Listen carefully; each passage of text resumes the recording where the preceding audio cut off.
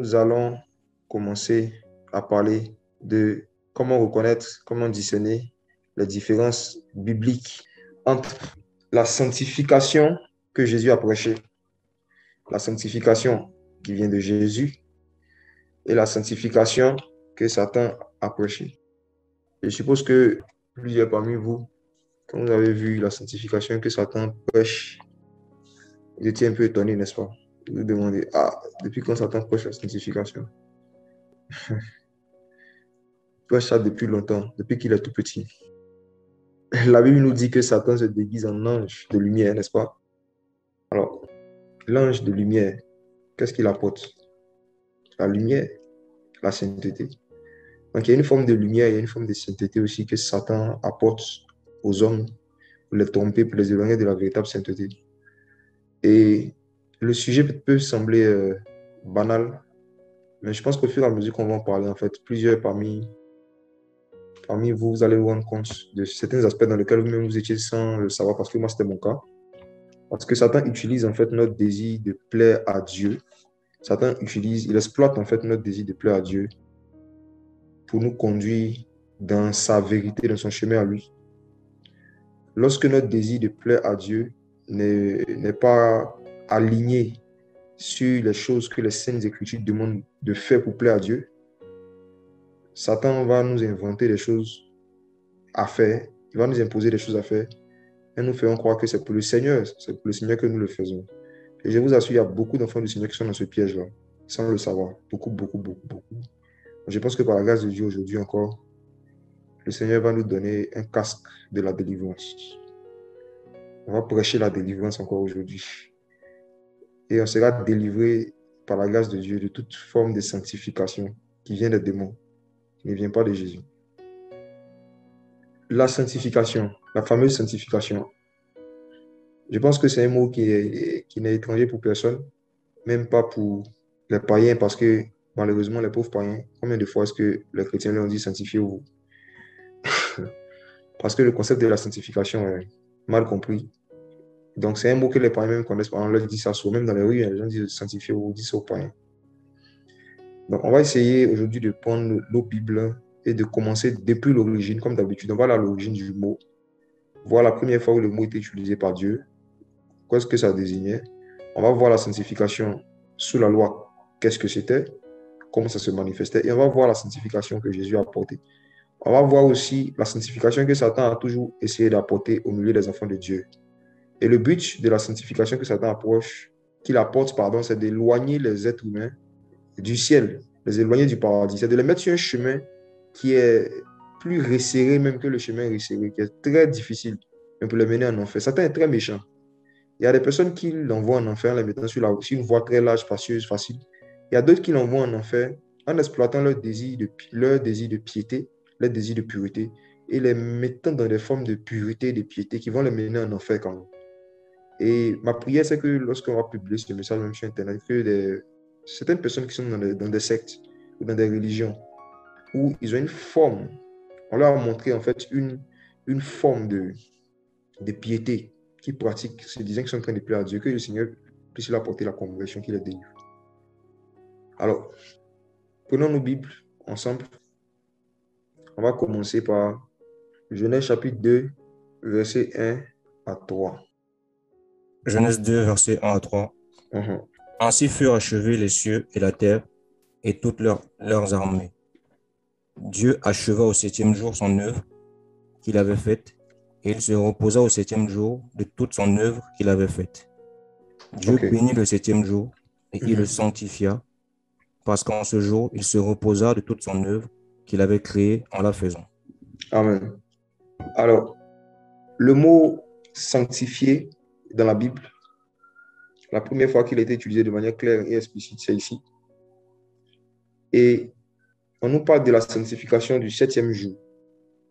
On nous dit que le Seigneur a sanctifié le septième jour. Vous allez remarquer que cette expression n'a pas été appliquée à Adam lorsqu'il a été créé. C'est-à-dire, on n'a pas vu Dieu créa Adam et il le sanctifia, n'est-ce pas? Donc, le premier à qui le mot sanctification ou sanctifié a été adressé, ce n'est pas Adam, mais c'est le septième jour. Le mot sanctification a plusieurs sens et il prend son sens en fonction du contexte dans lequel il est employé. Il peut signifier le fait de mettre à part quelque chose, de mettre une chose à part, le fait de séparer une chose ou une personne. Et en général, quand on pense à séparer, mettre à part, on pense seulement à la séparation des choses pures avec les choses impures. Mais originellement, sanctification, ça signifie séparer les choses pures d'avec les choses pures. La sanctification, c'est le fait de mettre à part quelque chose qui est déjà saint. Exemple, quand le Seigneur dit, quand vous priez, dites Notre Père, que ton nom soit sanctifié. Est-ce que ça veut dire que c'est nous qui donnons au nom du Seigneur sa valeur de sainteté? Non. Le nom du Seigneur est déjà saint et nous devons sanctifier son nom. C'est-à-dire, c'est parce qu'il est déjà saint qu'on doit le mettre à part. Mais est-ce que le fait de sanctifier le nom du Seigneur, est-ce que le fait de dire que le nom du Seigneur est saint, est-ce que ça veut dire que le nom de Gabriel est impur? Il y a un ange qui s'appelle Gabriel, n'est-ce pas? Est-ce que son nom est malsain? Non. Est-ce que le nom de Michael est impur? Non. Est-ce que le nom des anges, les noms qui existent dans le monde spirituel sont, sont impurs forcément? Non. Mais parmi tous les noms saints qu'il y a dans le royaume des cieux, le nom de Dieu le nom du Père est sanctifié. C'est-à-dire qu'il a plus de sainteté et il est plus mis à part que les autres noms. Donc, sanctifié, ce n'est pas toujours séparer ce qui est saint d'avec ce qui est impur. Quoique c'est l'une des définitions secondaires. Mais la première définition, c'est séparer ce qui est saint d'avec ce qui est saint. Et Dieu qui est dans le ciel est saint. Les anges aussi sont saints. Mais n'est-ce pas que les anges sont étonnés par la sainteté de Dieu? N'est-ce pas que la Bible dit que Dieu est le seul saint? N'est-ce pas? Dit que Dieu est le seul saint, est-ce que ça veut dire que les anges sont impurs? Non. Le fait qu'ils chantent Saint, Saint, Saint le Seigneur Dieu. Est-ce qu'en chantant la sainteté de Dieu, ils sont en train de confesser leur impurité, leur péché à eux, les anges? Pas du tout. Pas du tout. Ils sont tous saints au, ciel. Mais mes frères, il y a des niveaux de sainteté. Dans le royaume des cieux, il y a des niveaux de sainteté. Il y a des niveaux de sainteté. Les anges n'ont jamais péché. Dieu aussi n'a jamais péché, mais il est plus saint que les anges. Pourquoi? Je pense qu'on va comprendre ça quand on va, va développer les choses. De la même manière, lorsqu'on regarde les jours, quand on nous dit que Dieu a sanctifié le septième jour, ça ne veut pas dire que les six autres jours sont impurs. C'est à là que je voulais en venir. La sanctification du septième jour, cela ne veut pas dire que le premier jour, le deuxième jour, le troisième jour sont des jours qui ne sont pas saints ou qui sont impurs. Ce n'est pas ce que ça veut dire. Et mes frères, on va étudier en détail que signifie Dieu a sanctifié le septième jour, la sanctification du septième jour. Alors, avant d'arriver sur le septième, on va d'abord regarder la sanctification du premier jour.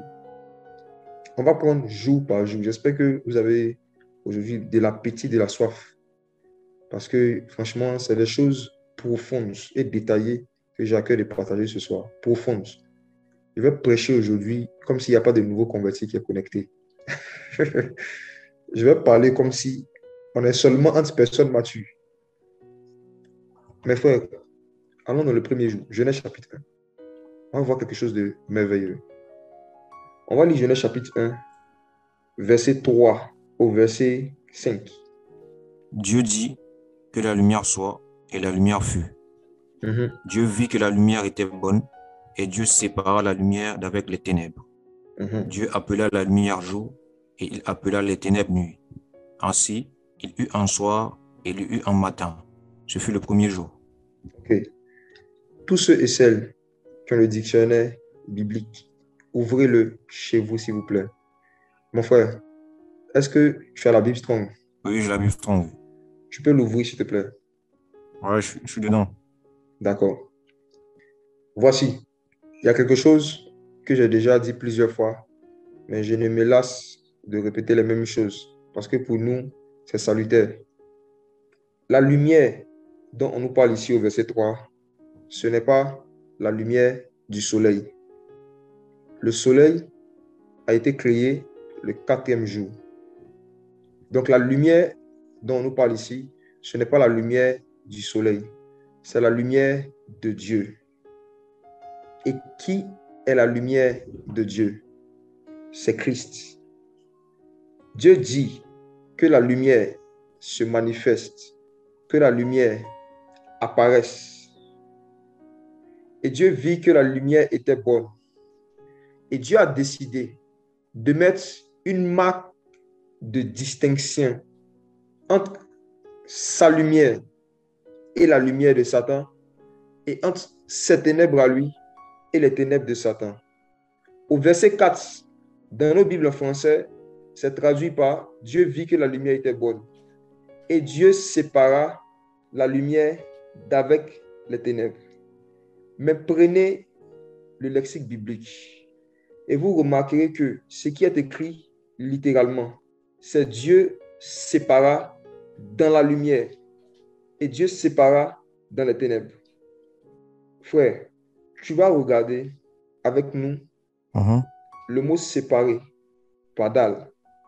Ok. Tu vas lire, s'il te plaît, les deux premières définitions, 1 et puis 1A. Ok. La première définition, c'est diviser, séparer. Mhm. 1A, c'est couper, mettre à part, faire une différence. Couper, Mettre, mettre à à part, part, faire une différence. faire une différence. Faire une différence. Est-ce que tu peux cliquer sur le mot avec? Où c'est mis Dieu sépara la lumière d'avec les ténèbres. En hébreu, le mot qui a été traduit par avec, qu'est-ce qu'il signifie? Entre, parmi. Entre et parmi. Mes frères, vérifiez et vous verrez que ce mot qui a été traduit par avec ne signifie pas avec. N'est-ce pas? Il signifie entre et parmi. Mais peut-être qu'en traduisant, les traducteurs se disent que en français, ça ne fait pas sens. Ça n'a ça ça pas de signification. Mais en esprit, c'est une signification, mes frères. Dieu sépara, Dieu a mis une marque de différence entre ou encore parmi les lumières et les ténèbres. Pourquoi? Parce qu'il y a deux types de lumière dans le monde spirituel et il y a deux types de ténèbres. Il y a la lumière de Dieu et il y a la lumière de Satan. Il y a une lumière qui vient de Dieu, le Créateur. Et il y a une autre lumière qui vient de Satan. Et jusqu'à aujourd'hui, Satan se fait appeler le prince de lumière. Que signifie Lucifer? Cette appellation que les satanistes donnent à Satan. Qu'est-ce que ça signifie Lucifer? Vous allez voir que les enfants de Dieu sont appelés dans la Bible les enfants de lumière. Et les enfants de Satan sont appelés dans nos villes les Illuminati, les illuminés. N'est-ce pas? Il y a donc deux types de lumière et deux types de ténèbres.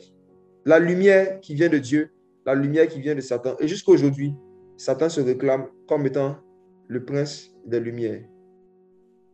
Et il y a un siècle, effectivement, j'allais en venir, que dans l'histoire, on appelle le siècle des lumières. Pourquoi? Parce que c'est une période qui est caractérisée par des prouesses dans le domaine de la connaissance, des prouesses dans le domaine de la manifestation de la sagesse et de la connaissance des hommes. Donc, la lumière, c'est la connaissance. Et à la connaissance qui vient de Dieu et à la connaissance qui vient de Satan. Et à la connaissance qui vient du Seigneur et la connaissance qui vient du diable. Mais depuis le commencement, Dieu a séparé, il a mis une marque de distinction entre la lumière qui vient de lui et la lumière qui vient de Satan. Et il est dans notre intérêt de connaître les marques de distinction entre ces deux types de lumière. Toute lumière n'est pas forcément Dieu et toute ténèbre n'est pas forcément diable. Je pense que vous vous rappelez comment est-ce qu'on a vu dans nos Bibles aussi, où on nous parle dans la Bible des ténèbres de Dieu. On se rappelle de Jésus qui a dit à ses disciples, ce que je vous ai dit dans les ténèbres, dites-le sur tous les toits. Donc, lumière dans la Bible ne signifie pas forcément Dieu et ténèbres ne signifie pas toujours diable. OK? Ça, c'est un petit rappel. Maintenant, ce qui nous intéresse encore plus, c'est le verset 5. Après que le Seigneur ait séparé les lumières entre les ténèbres, qu'il ait mis une marque de séparation, une marque de distinction, le Seigneur Dieu a décidé de donner un nom à la lumière qui vient de lui. La lumière qui vient de Dieu porte un nom que Dieu lui a donné. Donc, on va lire Genèse 1, verset 5. Genèse 1, verset 5. Mhm.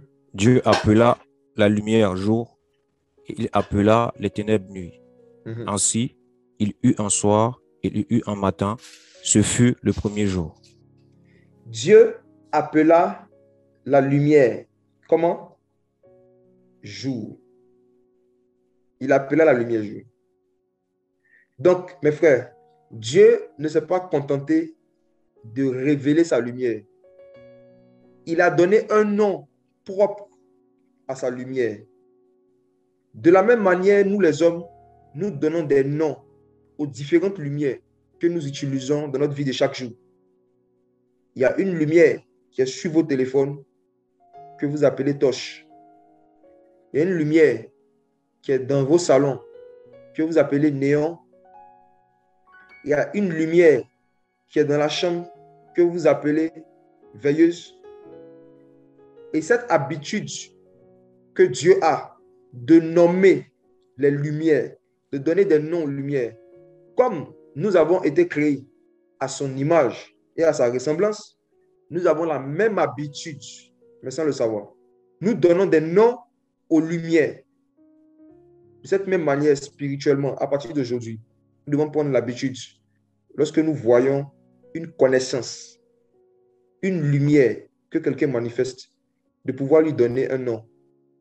Soit ça vient de Christ, soit ça vient de Satan. Ce n'est pas parce que c'est la lumière que ça va nous impressionner. Mais on doit connaître le nom de cette lumière. Si on voit une forme de sanctification que quelqu'un pratique ou qu'il manifeste, on doit pouvoir donner un nom à cette sanctification. Est-ce que ça vient de Christ ou ça vient de Satan?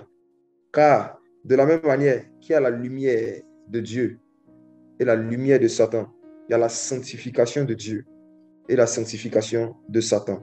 Parce qu'en soi, Satan s'amuse et il s'exalte à reproduire tout ce que Dieu a produit. Et lorsque nous ne connaissons pas bien la différence entre l'original et les photocopies, parfois on a plus d'intérêt pour la photocopie que pour l'original. Et c'est la sanctification originelle qu'on veut s'appliquer à étudier aujourd'hui. Le Seigneur a appelé sa lumière jour. Donc jour est un nom, mes frères. En français, jour est un mot utilisé pour désigner 24 heures. Mais en esprit, dans le monde spirituel, jour est un nom propre utilisé pour désigner la lumière de Dieu. Et qui est la lumière? C'est Christ. Enfant de Dieu, ton Jésus s'appelle jour. Le jour. Yom en hébreu. C'est un de ses noms. Dieu appela la lumière jour. Jésus est venu sur la terre. Et dans Jean chapitre 1, l'apôtre Jean dit, au commencement était la parole. La parole était tournée vers Dieu. Et la parole était Dieu. En elle était la vie. Et la vie était la lumière des hommes. C'est cette lumière qui éclairait les hommes. Il parlait de qui encore? De Christ. Christ, quand il a commencé à prêcher, il a dit, je suis la lumière du monde. Celui qui marche avec moi ne sera pas dans les ténèbres. Je suis la lumière du monde. Je suis la lumière du monde. En d'autres termes, je suis le jour dont Moïse a parlé. Dans Genèse chapitre 1, verset 5, Dieu appela la lumière jour. Il ne s'agit pas du soleil, le soleil est venu le quatrième jour. Donc, jour est un nom du Fils de Dieu. Jour est un nom de Christ. Au point où Si vous vous rappelez, dans l'épisode de Lazare, il a une conversation avec ses disciples. On va lire ça. Jean chapitre 11. Je paraphrase. Alors, la Bible nous dit que Jésus a appris que Lazare était malade. Il n'est pas venu. Lazare est mort. Et ils sont venus lui annoncer que Lazare est mort. On va lire du verset 6, s'il te plaît, jusqu'au verset 10. Lors donc qu'il eut appris que Lazare était malade, Hmm. il resta deux jours encore dans le lieu où il était. Et il dit ensuite aux disciples, retournons en Judée. Les disciples lui dirent, Rabbi, les Juifs tout récemment cherchaient à te lapider, et tu retournes en Judée. Mhm. Jésus répondit, N'y a-t-il pas douze heures au jour? Si quelqu'un marche pendant le jour, il ne bronche point, parce qu'il voit la lumière de ce monde. Hmm. Mais si quelqu'un marche pendant la nuit, il bronche, parce que la lumière n'est pas en lui. Ok. Regardez la réponse du Seigneur au verset 9. Ses disciples lui disent, Seigneur, les Juifs veulent te tuer. Et toi, tu vas dans l'endroit où tu sais qu'on veut te tuer. Et il leur répond, n'y a-t-il pas douze heures au jour? Est-ce que les disciples lui ont demandé, Seigneur, lesquelles heures si ta montre? Est-ce que les disciples lui ont dit, Seigneur, fais-nous un peu un coup de météo Combien d'heures Dieu un jour? Ce n'était pas la question. Et dans la réponse du Seigneur, on peut avoir l'impression qu'il n'est pas en train de répondre à la question. Or, il est en train de répondre à la question en leur disant, vous dites qu'on veut me tuer, vous dites qu'on veut me lapider. Et donc, parce qu'on veut me tuer et vont me lapider, je ne dois pas aller dans cet endroit pour aller faire la volonté de celui qui m'a envoyé. Vous dites cela parce que vous avez oublié, ou peut-être parce que vous ne connaissez pas une réalité spirituelle. Donc, je vous pose la question, dit Jésus, n'y a-t-il pas 12 heures au jour? Comme on vient de le voir dans Genèse 1, la lumière de Dieu, c'est Christ. Et Dieu a appelé la lumière jour. Donc le jour dont Jésus parle ici, c'est lui-même. Et vu qu'il est le jour, lorsqu'il est venu commencer son ministère, il a choisi combien d'apôtres? 12. 12. Donc il a dit, je suis le jour, vous êtes les heures. N'y a-t-il pas 12 heures au jour Le Christ n'a-t-il pas 12 apôtres? Si on me lapide, est-ce que la mort d'une heure, c'est la fin du jour? Il est en train de leur dire, même si on me tue, vous êtes là? N'y a-t-il pas 12 heures au jour? Je n'ai pas peur d'aller mourir et même mourir sur la croix parce que je sais que lorsque je partirai, vous allez continuer le travail. N'y a-t-il pas 12 heures au jour? Si quelqu'un marche pendant le jour, il ne trébuche pas, car il voit la lumière de ce monde. Si quelqu'un marche selon ce que Jésus a enseigné, selon ce que Christ a enseigné, il ne peut pas tomber hors de la sanctification. C'est lorsqu'on décide de marcher dans des lumières, dans des éclairages, dans des sanctifications qui ne viennent pas de Jésus, c'est là qu'on tombe dans le péché. Si quelqu'un marche selon le jour, si quelqu'un marche selon ce que Jésus a enseigné, il ne va pas tomber dans le péché. Ce que Jésus a dit. Si quelqu'un marche selon ce que les apôtres enseigné, il ne trébuchera pas.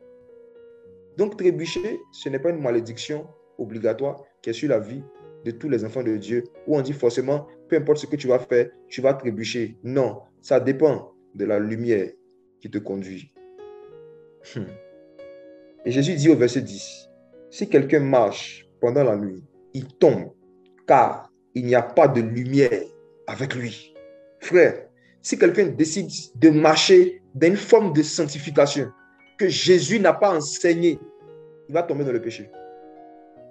L'une des choses qui explique les chutes répétées de beaucoup d'enfants du Seigneur, ce n'est pas toujours parce qu'ils ne craignent pas Dieu, parce qu'ils n'aiment pas Dieu. Mais parfois, c'est un problème de lumière. C'est un problème d'éclairage. Car aussi longtemps que l'héritier demeure ignorant, il ne diffère rien de l'esclave. Si le type de sanctification qui t'a été enseigné n'est pas le même type de sanctification que Jésus a prêché, tu vas tomber régulièrement dans le péché. Aujourd'hui, je pense que beaucoup vont comprendre la source de leur problème. C'est parce qu'ils marchent selon la nuit. Or, la nuit, c'est Satan. Mais la nuit, il y a des lampadaires. La nuit, il y a une forme de lumière. La nuit, il y a des torches.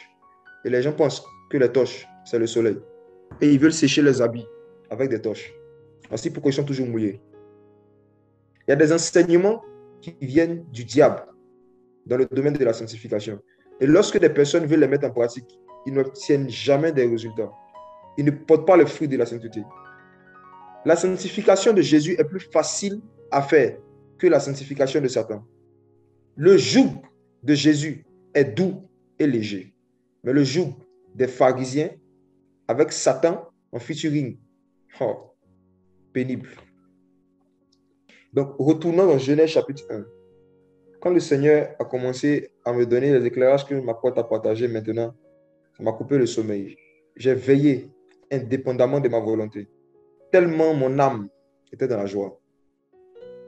Voici la manifestation de Christ, la manifestation de la lumière dans Genèse chapitre 1 et le nom qui a été donné à la lumière, jour. C'était pour annoncer d'avance les sept grandes manifestations de la puissance du Messie dans l'humanité. Les sept jours sont sept manifestations de l'œuvre de Christ. Le mot jour est un nom de Christ. Dans chaque jour est une manifestation de Christ. C'est ce qu'on va voir en détail. La première manifestation de Christ qu'on voit ici, c'est la révélation de la lumière. Ce fut le premier jour. Ce fut le jour 1, le premier jour. Maintenant, prenons le dictionnaire biblique. On va voir quelque chose d'extraordinaire et de choquant. Regardons Genèse chapitre 1. Mon frère, tu peux lire le verset 5, s'il te plaît. Dieu appela la lumière jour et il appela les ténèbres nuit. Mhm. Ainsi, il eut un soir et il eut un matin. Ce fut le premier jour. Est-ce que tu peux cliquer sur le mot qui a été traduit par premier? Tu as cliqué? Oui. Ok. Ce mot, c'est Hehad. Hehad. Hmm. Mes frères, regardez ceci. La première manifestation de Christ par rapport au jour, la première manifestation visible de la lumière que nous voyons, le Seigneur a décidé d'appeler cette manifestation Hehad. Ce fut le jour Hehad. Ehad signifie premier. Ehad signifie surtout un. Ehad signifie unique. Si vous vous rappelez la confession de foi juive dans Deutéronome 6, verset 4. Écoute Israël, le Seigneur, notre Dieu, le Seigneur est un. Écoute Israël, l'Éternel, ton Dieu, dans certaines versions, est l'unique Seigneur. Donc, Moïse est en train de dire à Israël, vous vous rappelez, je vous ai dit que Dieu a dit que sa lumière se manifeste et que cette lumière s'est manifestée. Et ce fut le jour Héhad. Maintenant, Israël, écoute, le Seigneur ton Dieu, c'est lui qui est Héhad.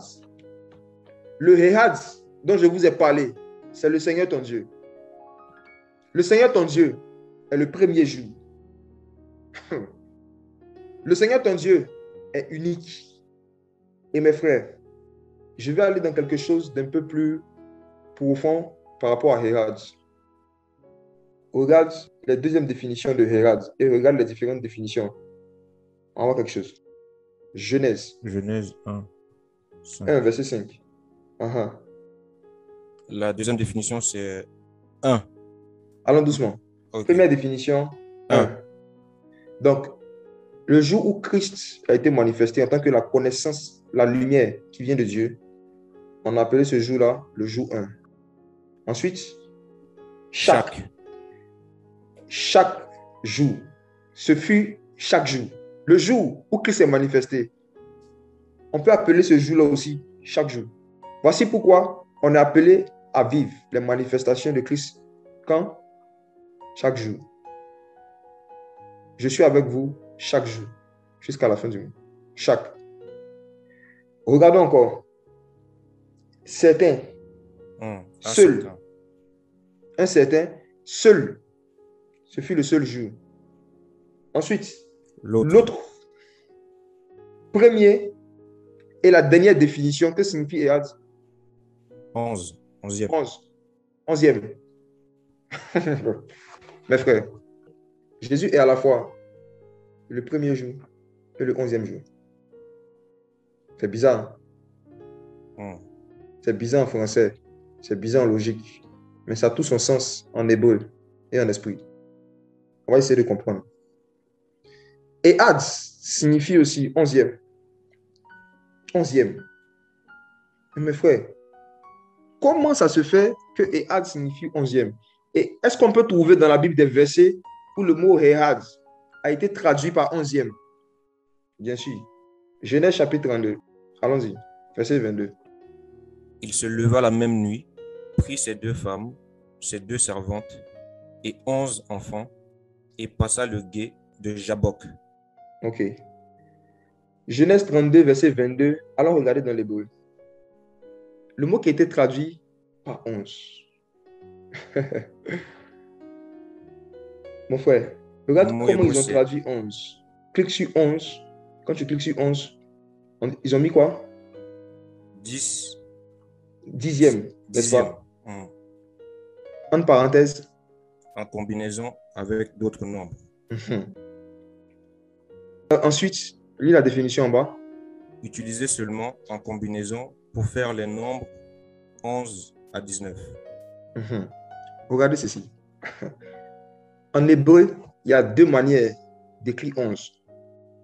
Soit dans l'hébreu biblique, soit on écrit 11 directement, ou bien on écrit 10 plus 1. On écrit 10 et à côté de 10, on met Ehad. Et c'est exactement ce qui a été fait ici. Si vous regardez, vous allez voir que quand on clique sur le premier mot, c'est 10. Et quand on clique sur le deuxième mot, Ehad.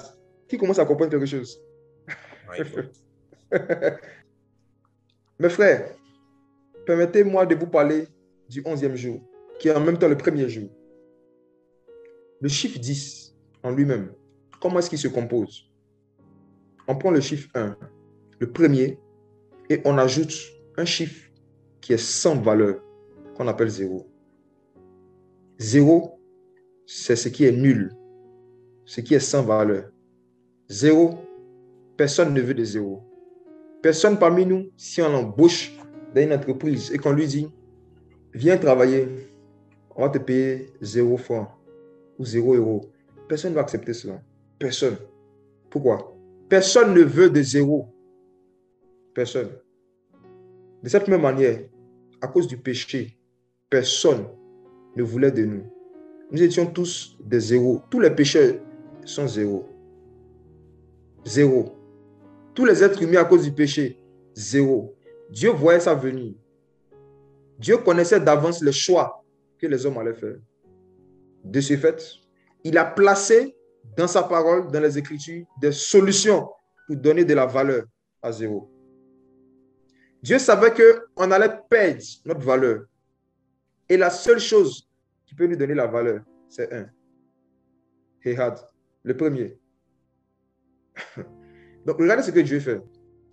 Il utilise la langue hébraïque et il manifeste la lumière.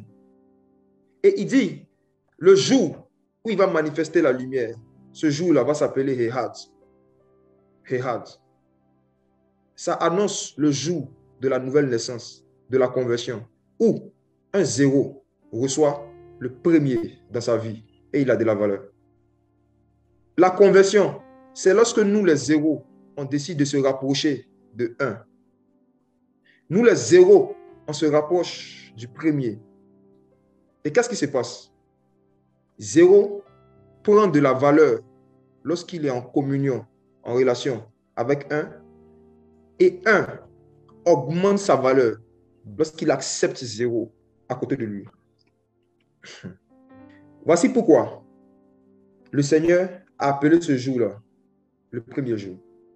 Et qu'en même temps qu'il a utilisé le mot Rehad pour donner le sens premier, il dit ce jour va s'appeler aussi onzième. Ah, pourquoi ce jour va s'appeler onzième? En fait, nous qui sommes zéro, lorsqu'on reste en communion avec le 1, qu'est-ce qui nous arrive? Celui qui s'attache au Seigneur forme avec lui un seul esprit. Un seul esprit. Et de ce fait, après la conversion, lorsque spirituellement on te voit, tu es comme Christ. Il est un, tu es un, et vous êtes un. Et en français, ça fait 11. En fait, 11, c'est deux 1 qui sont en communion. C'est deux 1 qui se suivent. 11, c'est deux 1 mis côte à côte en communion, en relation. C'est ça qui fait 11. Et Dieu a placé ça dans Hehad. Dieu a décidé que dans la langue hébraïque, il y aura deux manières d'avoir 11. Soit on prend un 11 qui est inné, soit on prend un 10, c'est-à-dire un 1, un 0, et on ajoute un à côté pour faire le 11.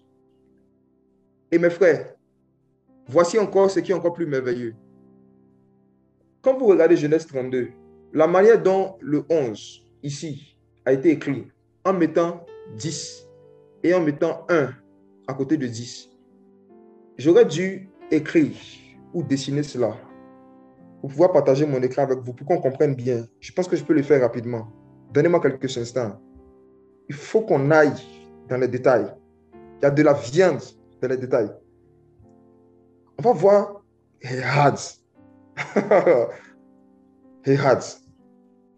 En fait, il n'y a même pas un plus. C'est vrai, on dit 10 plus 1, c'est pour faciliter la compréhension. Mais littéralement, tel que c'est écrit, on place 10 et puis un côte à côte. Hasard et puis 1. On va regarder quelque chose. Alors, je vais partager mon écran. Est-ce que vous voyez mon écran? Oui? Ok. Mes frères, regardons les détails. Voici comment 11 a été écrit dans ce verset et dans bien d'autres versets. Je peux vous donner les références, vous allez vérifier ces choses. Regardez, voici comment c'est écrit, littéralement. Voici comment le 11 était formé dans la littérature biblique hébraïque. On dit que Jacob se leva la même nuit, prit ses deux femmes, ses deux servantes et ses onze enfants, et il passa le Jourdain. Onze, c'est dix, plus et hâte. 10 avec Ehad, côte à côte. Le Seigneur, de sa sagesse et de son intelligence, a demandé aux Hébreux d'écrire 11 de cette manière pour dire quoi? En plus de ce que je vous ai déjà expliqué, c'était pour expliquer que lorsque son fils allait venir, lui qui, normalement, est Ehad, est le premier, est un, allait décider de devenir zéro et il allait ressusciter. Le 1, c'est Jésus qui vient. Le zéro, il se fait homme. Il meurt sur la croix. Il devient péché il devient péché pour nous et il ressuscite le troisième jour. Donc, c'est les trois chiffres qui forment le 11. Et encore, plus merveilleux, vous voyez le zéro, regardez sa position. À droite, il y a un 1. À gauche, il y a un 1. Pour annoncer que tous ceux qui allaient accepter Herad dans leur vie, lorsque deux ou trois parmi eux vont se réunir, il sera au milieu. Pour aller encore plus loin, la position du zéro, quand on regarde comment Dieu a demandé qu'on écrive 11 en hébreu, qu'on prenne 10 et qu'on ajoute Rehad, c'était pour annoncer que à la croix de Golgotha, quand il allait venir, il allait être crucifié, mais il allait être au milieu. Lui, qui n'a jamais péché, il allait devenir péché il allait être au milieu de deux personnes à qui il allait vouloir donner de la valeur, mais à un seul qui allait s'attacher à lui. En fait, les deux mots qui forment 11, le zéro est plus attaché à celui qui est à droite, du moins à gauche, de la manière dont nous regardons comme ça. Quand le zéro part avec le 10, le 1 part de son côté. Vous voyez? Ça préfigurait le fait que parmi les deux personnes desquelles Jésus allait être crucifié, il y a un seul qui allait l'accepter. Donc, Dieu inspire. Toute l'écriture est inspirée de Dieu. Dieu inspire des manières d'écrire des choses pour parler de son Fils Jésus. Donc, voici pourquoi, dorénavant, si vous étudiez la Bible et que vous voyez que on vous dit que Herad signifie aussi onzième, vous comprenez maintenant pourquoi. Un peu. C'est bon? Est-ce que le Seigneur n'est pas merveilleux? Est-ce qu'on peut avancer? Herad, le onzième. Ok. Donc, on va voir comment est-ce que chaque jour est une manifestation de Christ. Donc, les autres passages où 11 a été écrit de cette manière en hébreu, Genèse 37, verset 9, vous pouvez vérifier là-bas, et Deutéronome 1 aussi, le verset 2. Genèse 37, verset 9, Deutéronome 1, verset 2. Mais pour aller encore plus loin, par rapport à 11, quand Jésus-Christ est venu faire son ministère terrestre, il savait que parmi les douze, il y a un qui allait le trahir. Il allait rester seulement 11, qui signifie aussi Herad. Et ce sont les onze qui ont expérimenté Jésus-Christ ressuscité. Marc chapitre 16, verset 14. Juste ça. Puis je vais fermer la, la boucle avec ça. Allons-y. Marc chapitre 16, verset 14. Uh-huh. Enfin, il apparut aux onze pendant Hmm. qu'ils étaient à table, et il leur reprocha leur incrédulité et la dureté de leur cœur. Il apparut au 11. Or, c'est le 11 que Dieu a dit que la lumière apparaisse.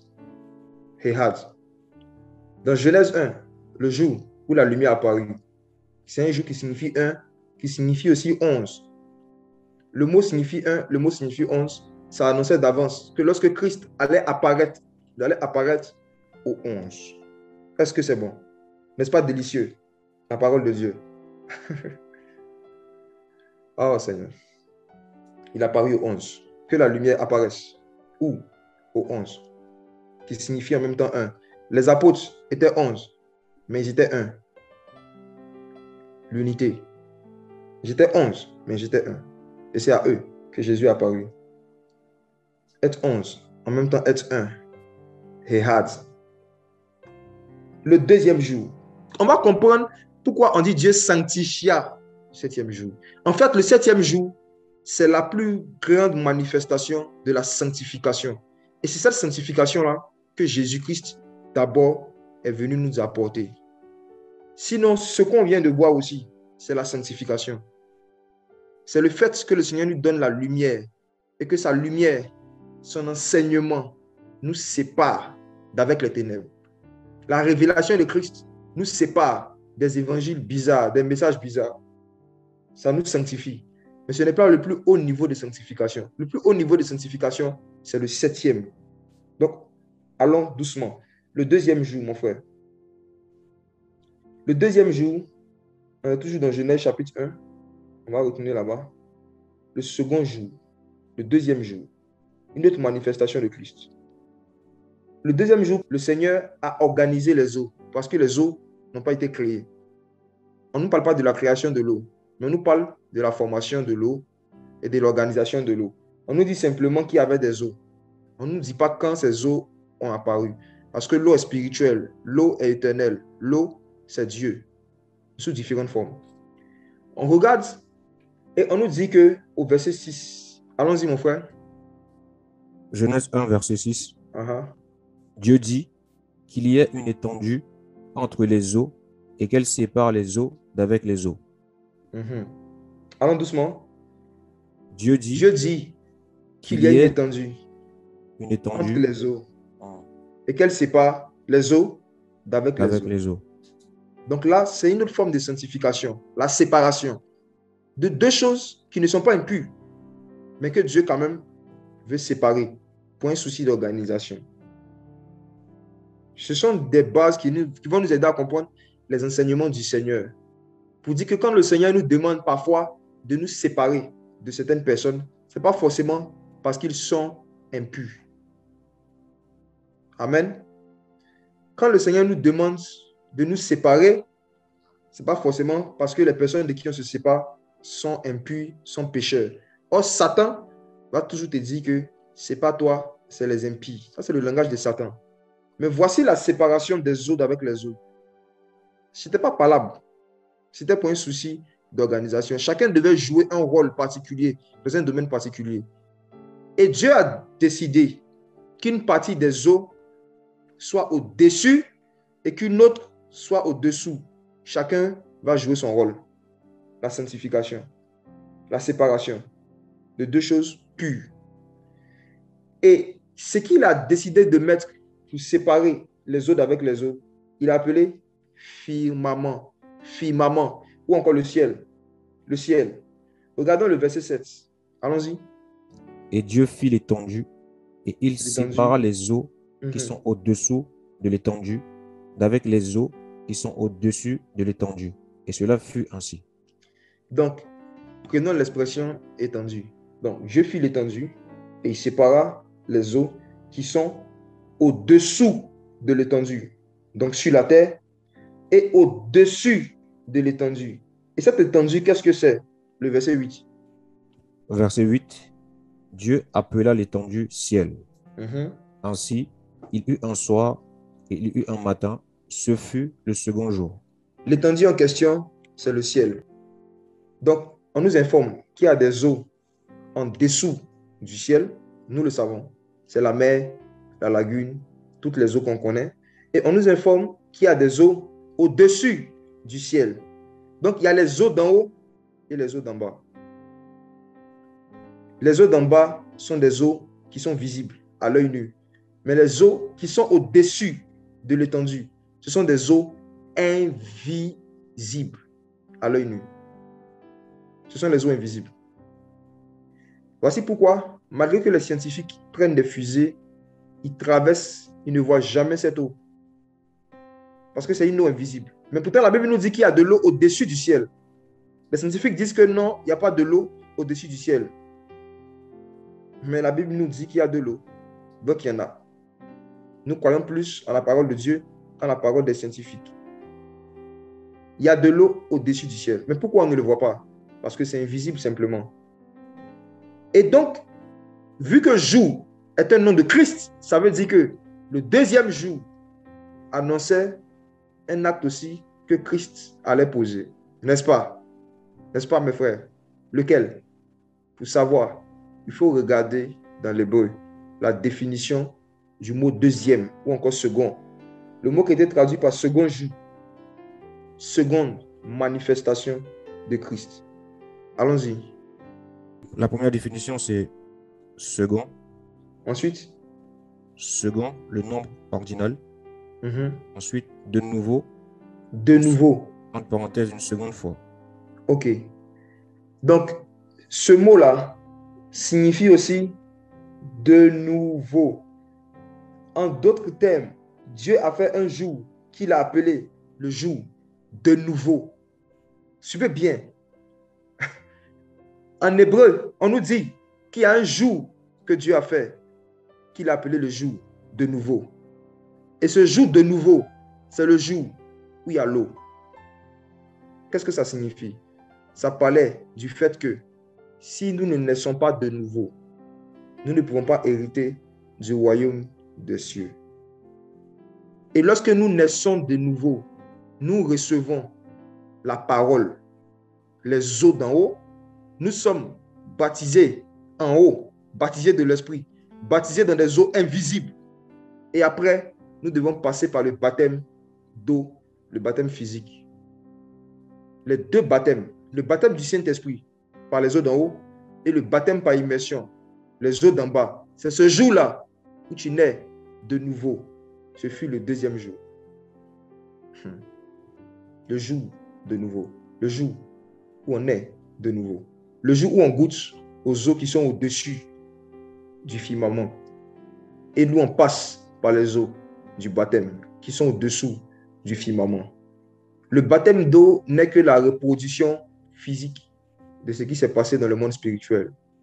Quand tu acceptes l'évangile, quand la lumière se manifeste, quand l'évangile t'est prêché, que tu acceptes, tu reçois de l'eau et tu es baptisé dans de l'eau spirituelle, l'eau invisible. C'est Jésus qui baptise du Saint-Esprit. Voici pourquoi Jean a dit que lui, il ne peut pas baptiser du Saint-Esprit parce que lui, il ne sait pas où se situent les eaux d'en haut. Mais Jésus, c'est lui qui connaît où se situent les eaux d'en haut. Donc c'est lui seul qui peut baptiser du Saint-Esprit. Quand tu acceptes la lumière, la deuxième étape, c'est l'eau. Le jour 1, la lumière. Le jour 2, les eaux. Les eaux d'en haut, les eaux d'en bas. Ce fut le jour de nouveau. Le deuxième jour. Et le jour où tu passes par les eaux, tu nais de nouveau.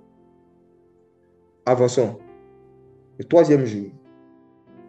Non, n'avançons pas vite.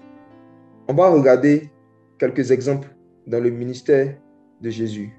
Comment est-ce qu'il a manifesté le second jour? De nouveau, le jour de nouveau. Non seulement j'ai parlé de la nouvelle naissance, mais permettez qu'on voit encore une autre révélation de Jésus-Christ. Jean chapitre 20, verset 20 à 21. Et quand il eut dit cela, il leur montra ses mains et son côté. Les disciples furent dans la joie en voyant le Seigneur. Hmm. Jésus leur dit de nouveau. La il a dit quoi? Jésus leur dit de nouveau. De nouveau. Allons-y. La paix soit avec vous. Comme uh-huh. le Père m'a envoyé, moi aussi je vous envoie. Jésus le dit de nouveau. Comme le Père m'a envoyé, moi aussi je vous envoie. Il le dit de nouveau que la paix soit avec vous. Ça veut dire quoi? Si vous lisez les versets d'en haut, vous verrez qu'il avait déjà dit que la paix soit avec vous. Et il a répété ça encore, que la paix soit avec vous. Ça veut dire qu'il leur a donné la paix deux fois. Il leur a donné deux types de paix. Il a prononcé deux fois que la paix soit avec vous. Il a prononcé ça une fois et il a prononcé ça de nouveau pour dire que le jour où tu acceptes que la lumière apparaisse, que l'évangile vienne dans ta vie, tu reçois la paix. Mais après que tu passes par les eaux du baptême, tu reçois encore une paix de nouveau. Et tous ceux qui sont nés de nouveau peuvent témoigner qu'il y a la paix qu'ils ont reçue quand ils ont entendu l'évangile. Et il y a une autre paix qui est venue s'ajouter quand ils sont passés par les eaux du baptême. La paix de nouveau. Le second jour. Le baptême d'eau est très très, très, très important. Ce n'est pas juste un symbole banal, non. C'est un acte par lequel on peut expérimenter la paix de nouveau. Ce fut le deuxième jour. Allons sur le troisième jour. Genèse chapitre 1. Avançons. Le troisième jour, c'est le jour où le Seigneur a créé les arbres fruitiers, la verdure. Les arbres, la verdure. C'est le jour où le Seigneur a ensemencé la terre. Il a fait tomber sa semence dans la terre. Et sa semence est sortie en forme d'arbre. Le verset 13, tu peux lire ça s'il te plaît? Genèse 1, le verset 13. Oui. Ainsi, il eut un soir et il eut un matin. Ce fut le troisième jour. Ce fut le troisième jour. Le jour où la semence qui est tombée en terre est sortie de terre ce fut le troisième jour. Je pense que vous comprenez déjà. Ça annonçait que le Seigneur allait mourir et ressusciter le troisième jour. Donc le troisième jour, c'est un nom de Christ, c'est le jour de la résurrection. Le troisième jour. Tous ces jours-là sont sanctifiés, c'est-à-dire ils sont séparés les uns des autres. Le jour de la résurrection. Et vous allez voir que le troisième jour, Jésus, dans Jean 12, verset 24, je cite, il a dit, si le grain de blé qui est tombé en terre ne meurt, il reste seul. Mais s'il meurt, il porte beaucoup de fruits. Et en ce moment-là, il y a une connaissance de la formation des arbres que l'humanité n'avait pas. Mais Jésus avait déjà aidé un peu la science en leur disant que, en fait, quand on met une graine dans la terre, la graine meurt d'abord avant de produire du fruit. Donc la mort intervient avant la vie. Il faut d'abord mourir pour vivre. Et donc, il allait apporter la vie le troisième jour. Et mes frères, regardons comment est-ce que Jésus a manifesté le troisième jour, qui est son nom. Hein. Jésus est le troisième jour aussi. Marc, chapitre 14. Je ne vais pas lire tout, mais c'est l'histoire de Gethsemane. Quand Jésus-Christ est allé à Gethsemane, il a prié combien de fois? Si vous vous rappelez. Trois fois. Trois fois. Il est en train de nous enseigner ici qu'il y a des fouilles que tu ne peux pas obtenir si tu ne pries pas trois fois au moins.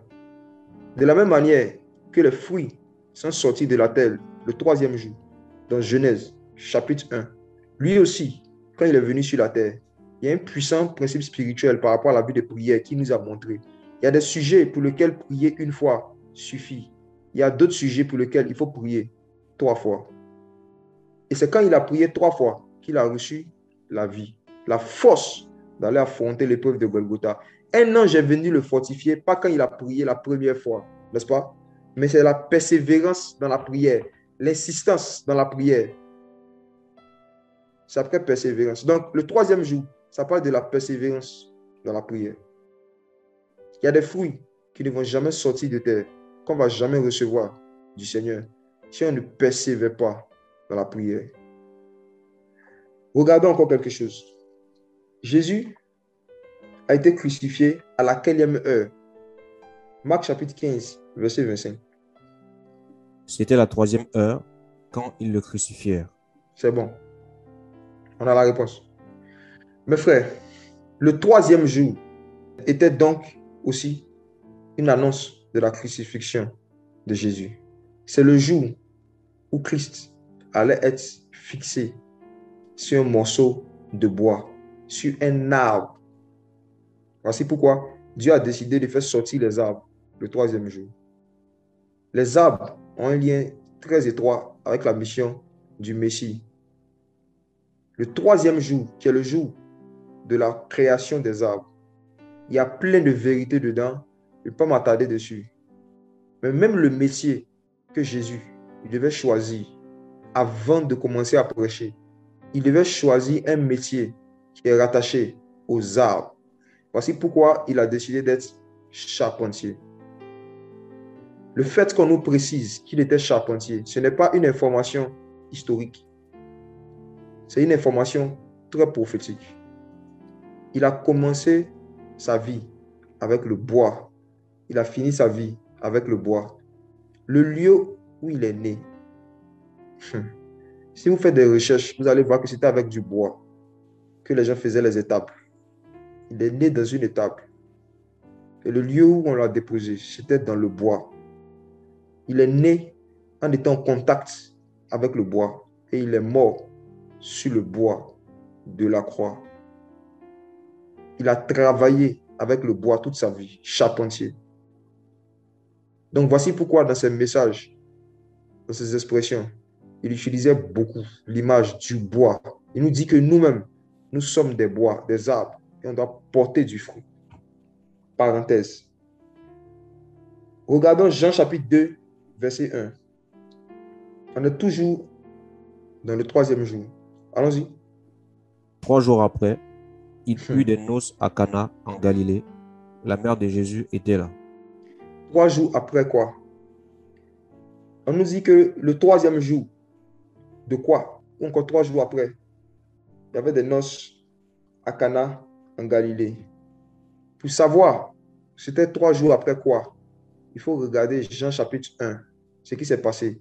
Il avait une conversation avec Nathanaël où il lui a parlé d'un mouvement angélique qui allait commencer dans la nouvelle alliance.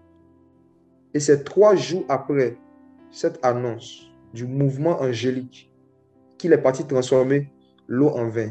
Donc il y a un lien entre sa conversation avec Nathanaël, qui était sous un arbre, et le fait que ce soit trois jours après qu'il est venu changer l'eau en vin. Pour faire simple, comme ce n'est pas le sujet principal, en fait, il y a un mouvement angélique que Dieu avait prévu déployer dans la nouvelle alliance après la résurrection de Jésus. Dorénavant, vous verrez le ciel ouvert et les anges de Dieu monter et descendre par le Fils de l'homme. Mais ça allait commencer quand? Trois jours après sa mort et sa résurrection. Et qu'est-ce qui allait déclencher cela C'est parce que lorsqu'il allait mourir, il allait verser son sang. Et la transformation de l'eau en vin annonçait en même temps le fait que le Seigneur Jésus-Christ, il allait changer l'aspect de la loi de Moïse. L'eau que les gens buvaient à l'époque, c'était la loi. L'eau, c'est l'image de la parole, n'est-ce pas? C'est l'image de la parole. Mais le type d'eau, le type de breuvage auquel les gens étaient habitués sous la loi, Jésus allait changer cela. Les messages que Jésus nous donne dans la nouvelle alliance, c'est son propre sang que nous buvons. C'est son sang. Il a changé l'eau en vin. Il a changé la loi de Moïse. Il a changé la loi de Moïse. Il a perfectionné la loi. Le changement de l'eau en vin, c'est annoncer le fait qu'il allait perfectionner la loi. Il allait donner à la parole de Dieu, au commandement de Dieu, à la vie de sanctification, un autre aspect, une autre forme, beaucoup plus sucrée. L'eau n'a pas de goût, le vin est sucré. La sanctification sous la loi n'avait pas de goût. La sanctification sous la grâce, c'est sucré. C'est trop intéressant. Mes frères et sœurs, avançons un peu. Regardons le quatrième jour. Le jour où il a créé le soleil, le luminaire. Le quatrième jour, le fait que le Seigneur a créé les luminaires préfigurait et annonçait le fait que le Seigneur allait utiliser des hommes et des femmes pour apporter des éclairages au monde, pour apporter des éclairages au monde. Souvenez-vous que avant que le soleil, la lune et les étoiles ne soient créées, la lumière brillait déjà depuis le premier jour. Mais Dieu a décidé d'installer le soleil, la lune et les étoiles pour présider. De cette même manière, avant que nous, on ne prêche l'évangile aujourd'hui, Jésus a prêché l'évangile avant nous. Et dans 1 Corinthiens chapitre 15, l'apôtre Paul dit que nous, les enfants du Seigneur, nous sommes des étoiles et que une étoile diffère d'une autre par rapport à son éclat.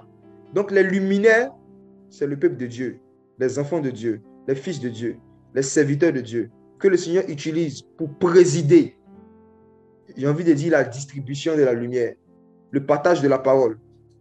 Ce sont les enfants de Dieu que le Seigneur utilise pour pouvoir aider l'humanité qui est malade, l'humanité souffrance, le quatrième jour. Donc, on va voir dans le ministère de Jésus comment est-ce que la prophétie du quatrième jour, du fait que le quatrième jour, Dieu allait utiliser des hommes pour manifester sa lumière. Il allait passer par des luminaires, par des étoiles, pour manifester sa lumière. Comment ça s'est accompli? Marc 2. On nous dit que Jésus était chez lui à la maison et il y avait un malade, un paralytique. Regarde le verset 3, mon frère. Qu'est-ce qu'on dit? Marc chapitre 2, le verset 3. Ah, Des gens vinrent, vinrent à lui, oui, amenant un paralytique porté par quatre hommes. c'est bon. Ok. Le paralytique était porté par combien de personnes? Quatre. Quatre.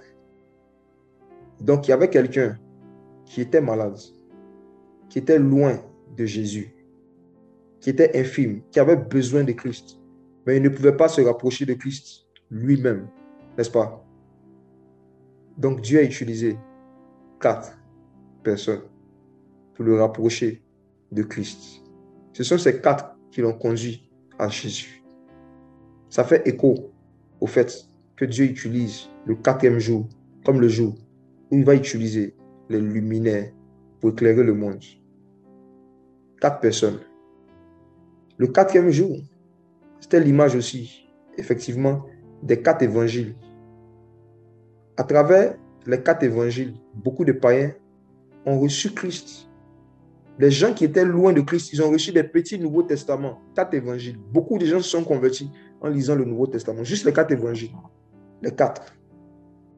Mais ce qui est encore plus merveilleux, c'est l'histoire de Lazare. Jean 11, verset 17. Le Seigneur a entendu que Lazare était malade, mais il a dit, en fait, il faut que j'accomplisse ce qui est écrit de moi dans la loi. Et il a dit qu'il y a un type d'éclairage qui doit venir le quatrième jour. Il y a un type de miracle qui va se passer le quatrième jour. Et il faut que j'utilise Lazare pour manifester cela, manifester sa gloire. Et Jean 11, verset 17, qu'est-ce qui est écrit? Jésus, étant arrivé, trouva que Lazare était déjà depuis quatre jours dans le sépulcre. Voilà. Donc, c'est le quatrième jour que le Seigneur a ressuscité Lazare. Donc, on voit que le quatrième parle de comment est-ce que Dieu aussi manifeste des miracles, sa puissance. Le quatrième jour, c'est l'expérience en fait de la puissance de Jésus-Christ pour aider les gens, pour aider les gens. Les manifestations glorieuses de l'onction, les manifestations de la gloire de Dieu pour aider les gens. Le soleil, la lune, les étoiles. Et pour terminer, Jean 19, verset 23. Les soldats, après avoir crucifié Jésus, prirent ses vêtements et ils en firent quatre parts, une part pour chaque soldat. Ils prirent aussi sa tunique, qui était sans couture, d'un seul tissu, depuis le haut jusqu'en bas, et ils dirent entre eux. C'est bon. Mes frères, le quatrième jour, le Seigneur n'a pas donné toute la lumière, tous les éclairages un seul luminaire, vrai ou faux. N'est-ce pas que le Seigneur a donné une partie d'éclairage au soleil, une autre à la lune Il a donné aussi des éclairages, des lumières aux étoiles. Et la lumière du soleil est différente de la lumière des étoiles. La lumière des étoiles est différente de la lumière euh, de la lune, ainsi de suite. N'est-ce pas? De cette même manière, les soldats ici, il n'y a pas un seul qui a reçu à lui seul tous les vêtements de Jésus. On nous précise que c'est en quatre parts qu'ils ont déchiré les vêtements de Jésus. Chacun a pris une part. Pourquoi cette précision? Vous savez, mes frères et sœurs, nous sommes des soldats du Seigneur. Nous sommes des soldats de Christ.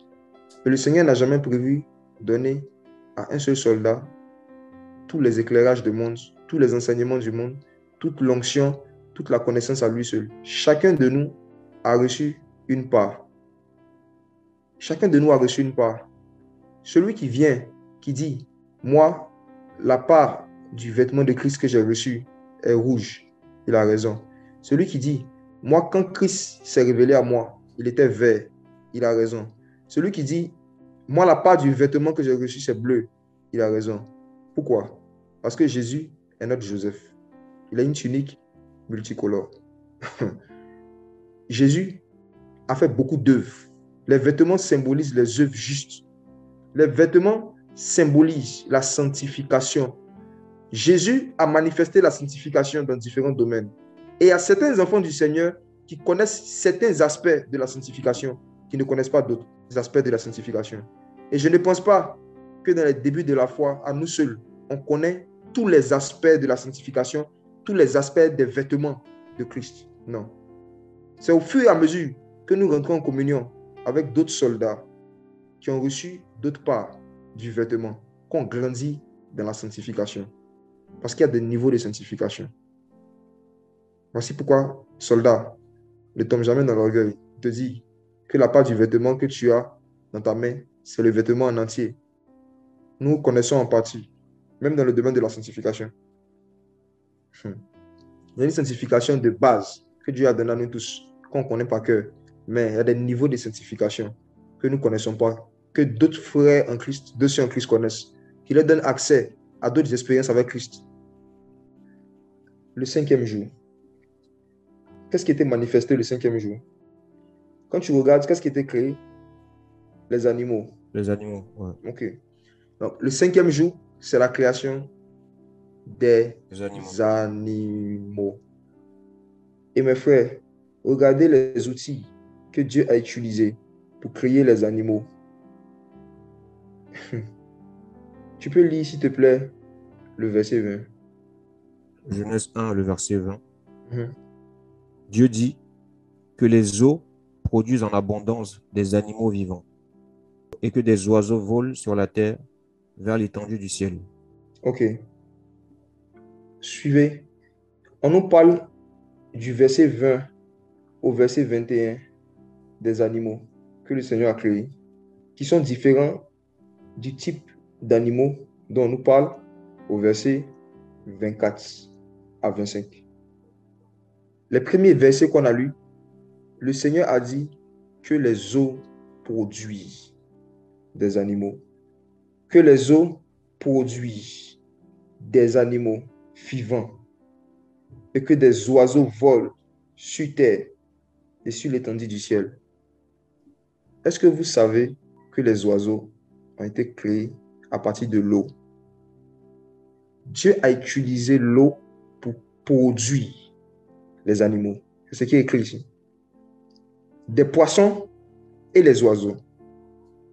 Ces deux types d'animaux, les poissons et les oiseaux, sont sortis de l'eau. Et les poissons, ils vivent dans l'eau, je ne vous apprends rien. Et les oiseaux, ils vivent dans les cieux. Leur environnement naturel, ils sont à l'aise, c'est le ciel. Et les poissons, c'est l'eau. Qu'est-ce que cela signifie? Ah. Vous allez voir que quand Jésus est venu faire son ministère, il a très souvent assimilé les enfants du Seigneur aux poissons. Au point où il a dit à Pierre, suis-moi, je ferai de toi un pêcheur d'hommes. Et il nous a beaucoup assimilés aussi aux oiseaux. Parce que l'eau et le ciel, qui sont les environnements naturels des poissons et des oiseaux, ce sont des images de la présence de Dieu. Et l'environnement naturel de quelqu'un qui est vraiment passé par les eaux de Christ, c'est la parole, l'eau et les airs. C'est l'onction, la gloire de Dieu. Donc les oiseaux et les poissons représentent les personnes qui allaient être en communion avec le Seigneur parce qu'ils sont sortis des eaux. Les poissons sortis des eaux, les oiseaux sortis des eaux. Ça parle du fait que nous devons être en communion les uns avec les autres, la communion fraternelle, et que nous devons penser aux choses d'en haut. Pourquoi on nous dit affectionnez-vous aux choses d'en haut? Pensez aux choses d'en haut. Parce que nous sommes des oiseaux. Nous sommes des aigles, selon les Écritures. Et celui qui se confie dans le Seigneur, il renouvelle ses forces, il pense en envol, comme l'aigle. Donc, le cinquième jour aussi a été créé les animaux, mais eux qui sont sortis de la terre. Regardons le verset 24, tu peux lire rapidement. Dieu dit que la terre produise des animaux vivants selon leur espèce, du bétail, des reptiles et des animaux terrestres selon leur espèce, et cela fut ainsi. Ok.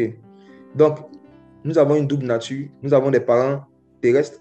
Donc, nous sommes sortis de la terre par rapport à la chair. Et nous avons aussi notre Père céleste. La double nature des animaux ou encore des êtres qui allaient vivre à la surface de la terre. Mes frères, le cinquième jour, c'est encore un autre nom de Jésus. Une œuvre où il allait faire des gens qui vont devenir une nouvelle création.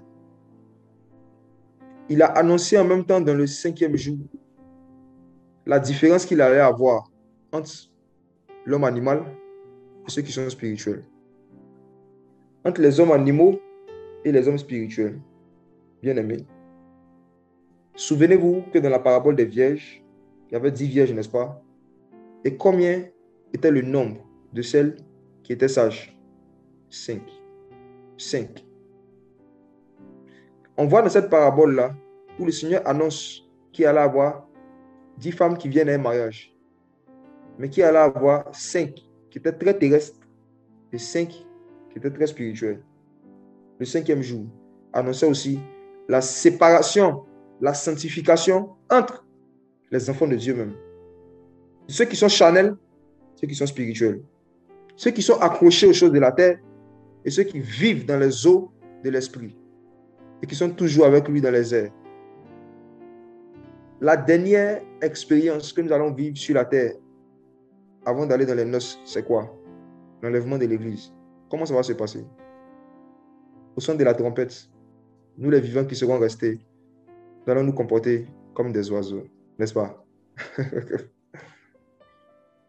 Nous allons nous comporter comme des oiseaux. Christ sera dans les airs et nous irons à sa rencontre dans les airs. Nous allons expérimenter ce que nous sommes pleinement, pas maintenant, à la résurrection des morts. Et vous allez voir encore, pour terminer rapidement, que quand on nous parle de la piscine de Bethesda, qui signifie miséricorde, ce lieu-là, il y avait beaucoup de gens qui étaient réunis. On nous dit qu'il y avait cinq portiques. Donc, je vous laisse avec ces choses. Ceux qui aiment méditer, vous allez méditer dessus. Allons rapidement sur le sixième jour. Tous ces jours qu'on est en train de voir sont saints, sont sanctifiés. N'est-ce pas? J'espère qu'on comprend. Hein. Et on va voir maintenant le septième jour, sa particularité encore. Pourquoi ils ont précisé avec lui que c'est sanctifié? Que celui qui se sanctifie se sanctifie davantage. Regardons le sixième jour. La création de l'homme simplement. La création de l'homme. Alors, donc le sixième jour annonçait non seulement la création d'Adam et Ève, mais en même temps aussi, ça annonçait le fait que ça allait marquer en fait aussi le début d'une nouvelle création qui est composée uniquement d'hommes et de femmes qui sont à l'image et à la ressemblance du Seigneur. Par exemple, je donne des versets rapidement. Dans Matthieu 27, verset 45, quand Jésus était crucifié, on nous dit que de la sixième heure jusqu'à la neuvième heure, il y a eu des ténèbres sur toute la terre. Pourquoi? Lorsque des humains doivent être conçus, la conception de la création humaine se fait dans le noir. Ceux et celles qui ont des enfants, ils en savent quelque chose. N'est-ce pas? C'est un réflexe, même pour les hommes charnels, pour la plupart d'entre eux, de se mettre dans une forme de ténèbres, d'assombrir le lieu où ils sont, lorsqu'ils veulent concevoir quelque chose de nouveau. Nous avons été conçus à la croix et nous avons été enfantés à la résurrection des morts, la sixième heure vous allez voir que Christ, lorsqu'il devait naître, Dieu a envoyé un ange, l'ange Gabriel, à Marie, mais auquel il y a moi? Si vous vérifiez Luc 1, verset 26, le sixième mois, vous allez voir que dans Jean chapitre 4, lorsque Jésus est allé en Samarie, qu'il a trouvé la femme samaritaine, lorsqu'il voulait concevoir quelque chose de nouveau, en Samarie. Si vous regardez Jean 4, le verset 6, la Bible dit qu'il est venu à la sixième heure. Et vous allez voir que dans Jean chapitre 19, aussi le verset 14, le jour de la présentation de la Pâque, Pilate devait présenter Jésus. Il devait présenter Christ au peuple.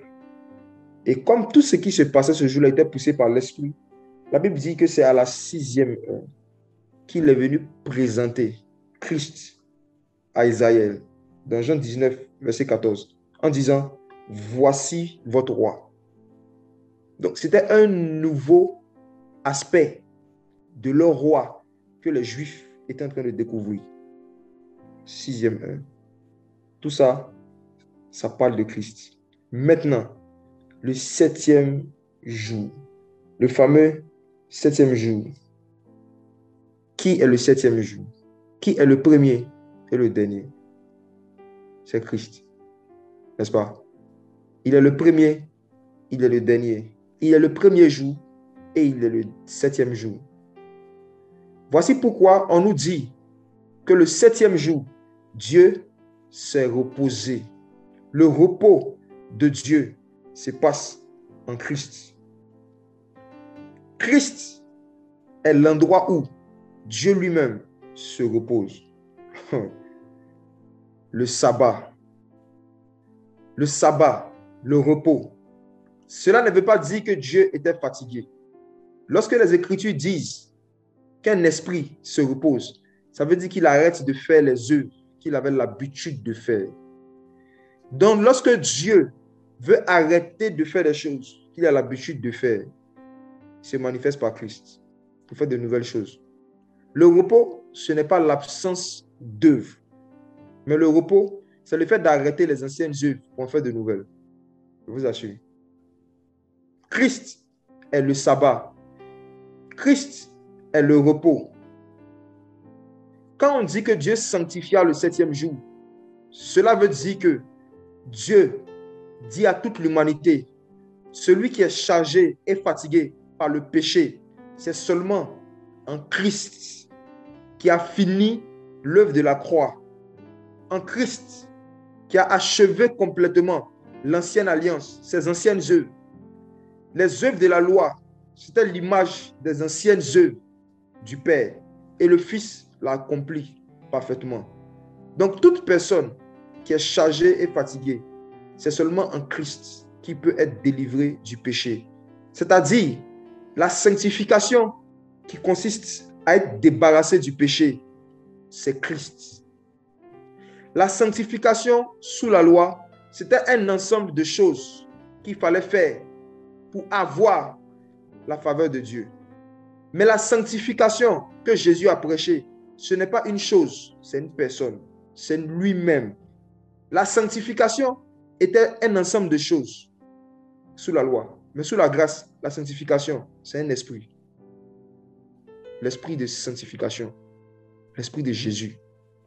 Sous la loi, les gens se sanctifiaient pour obtenir la faveur de Dieu. Mais sous la grâce, on se sanctifie parce qu'on a déjà obtenu la faveur de Dieu à travers Christ. Voici pourquoi Paul dit que Christ a été fait pour nous sanctification.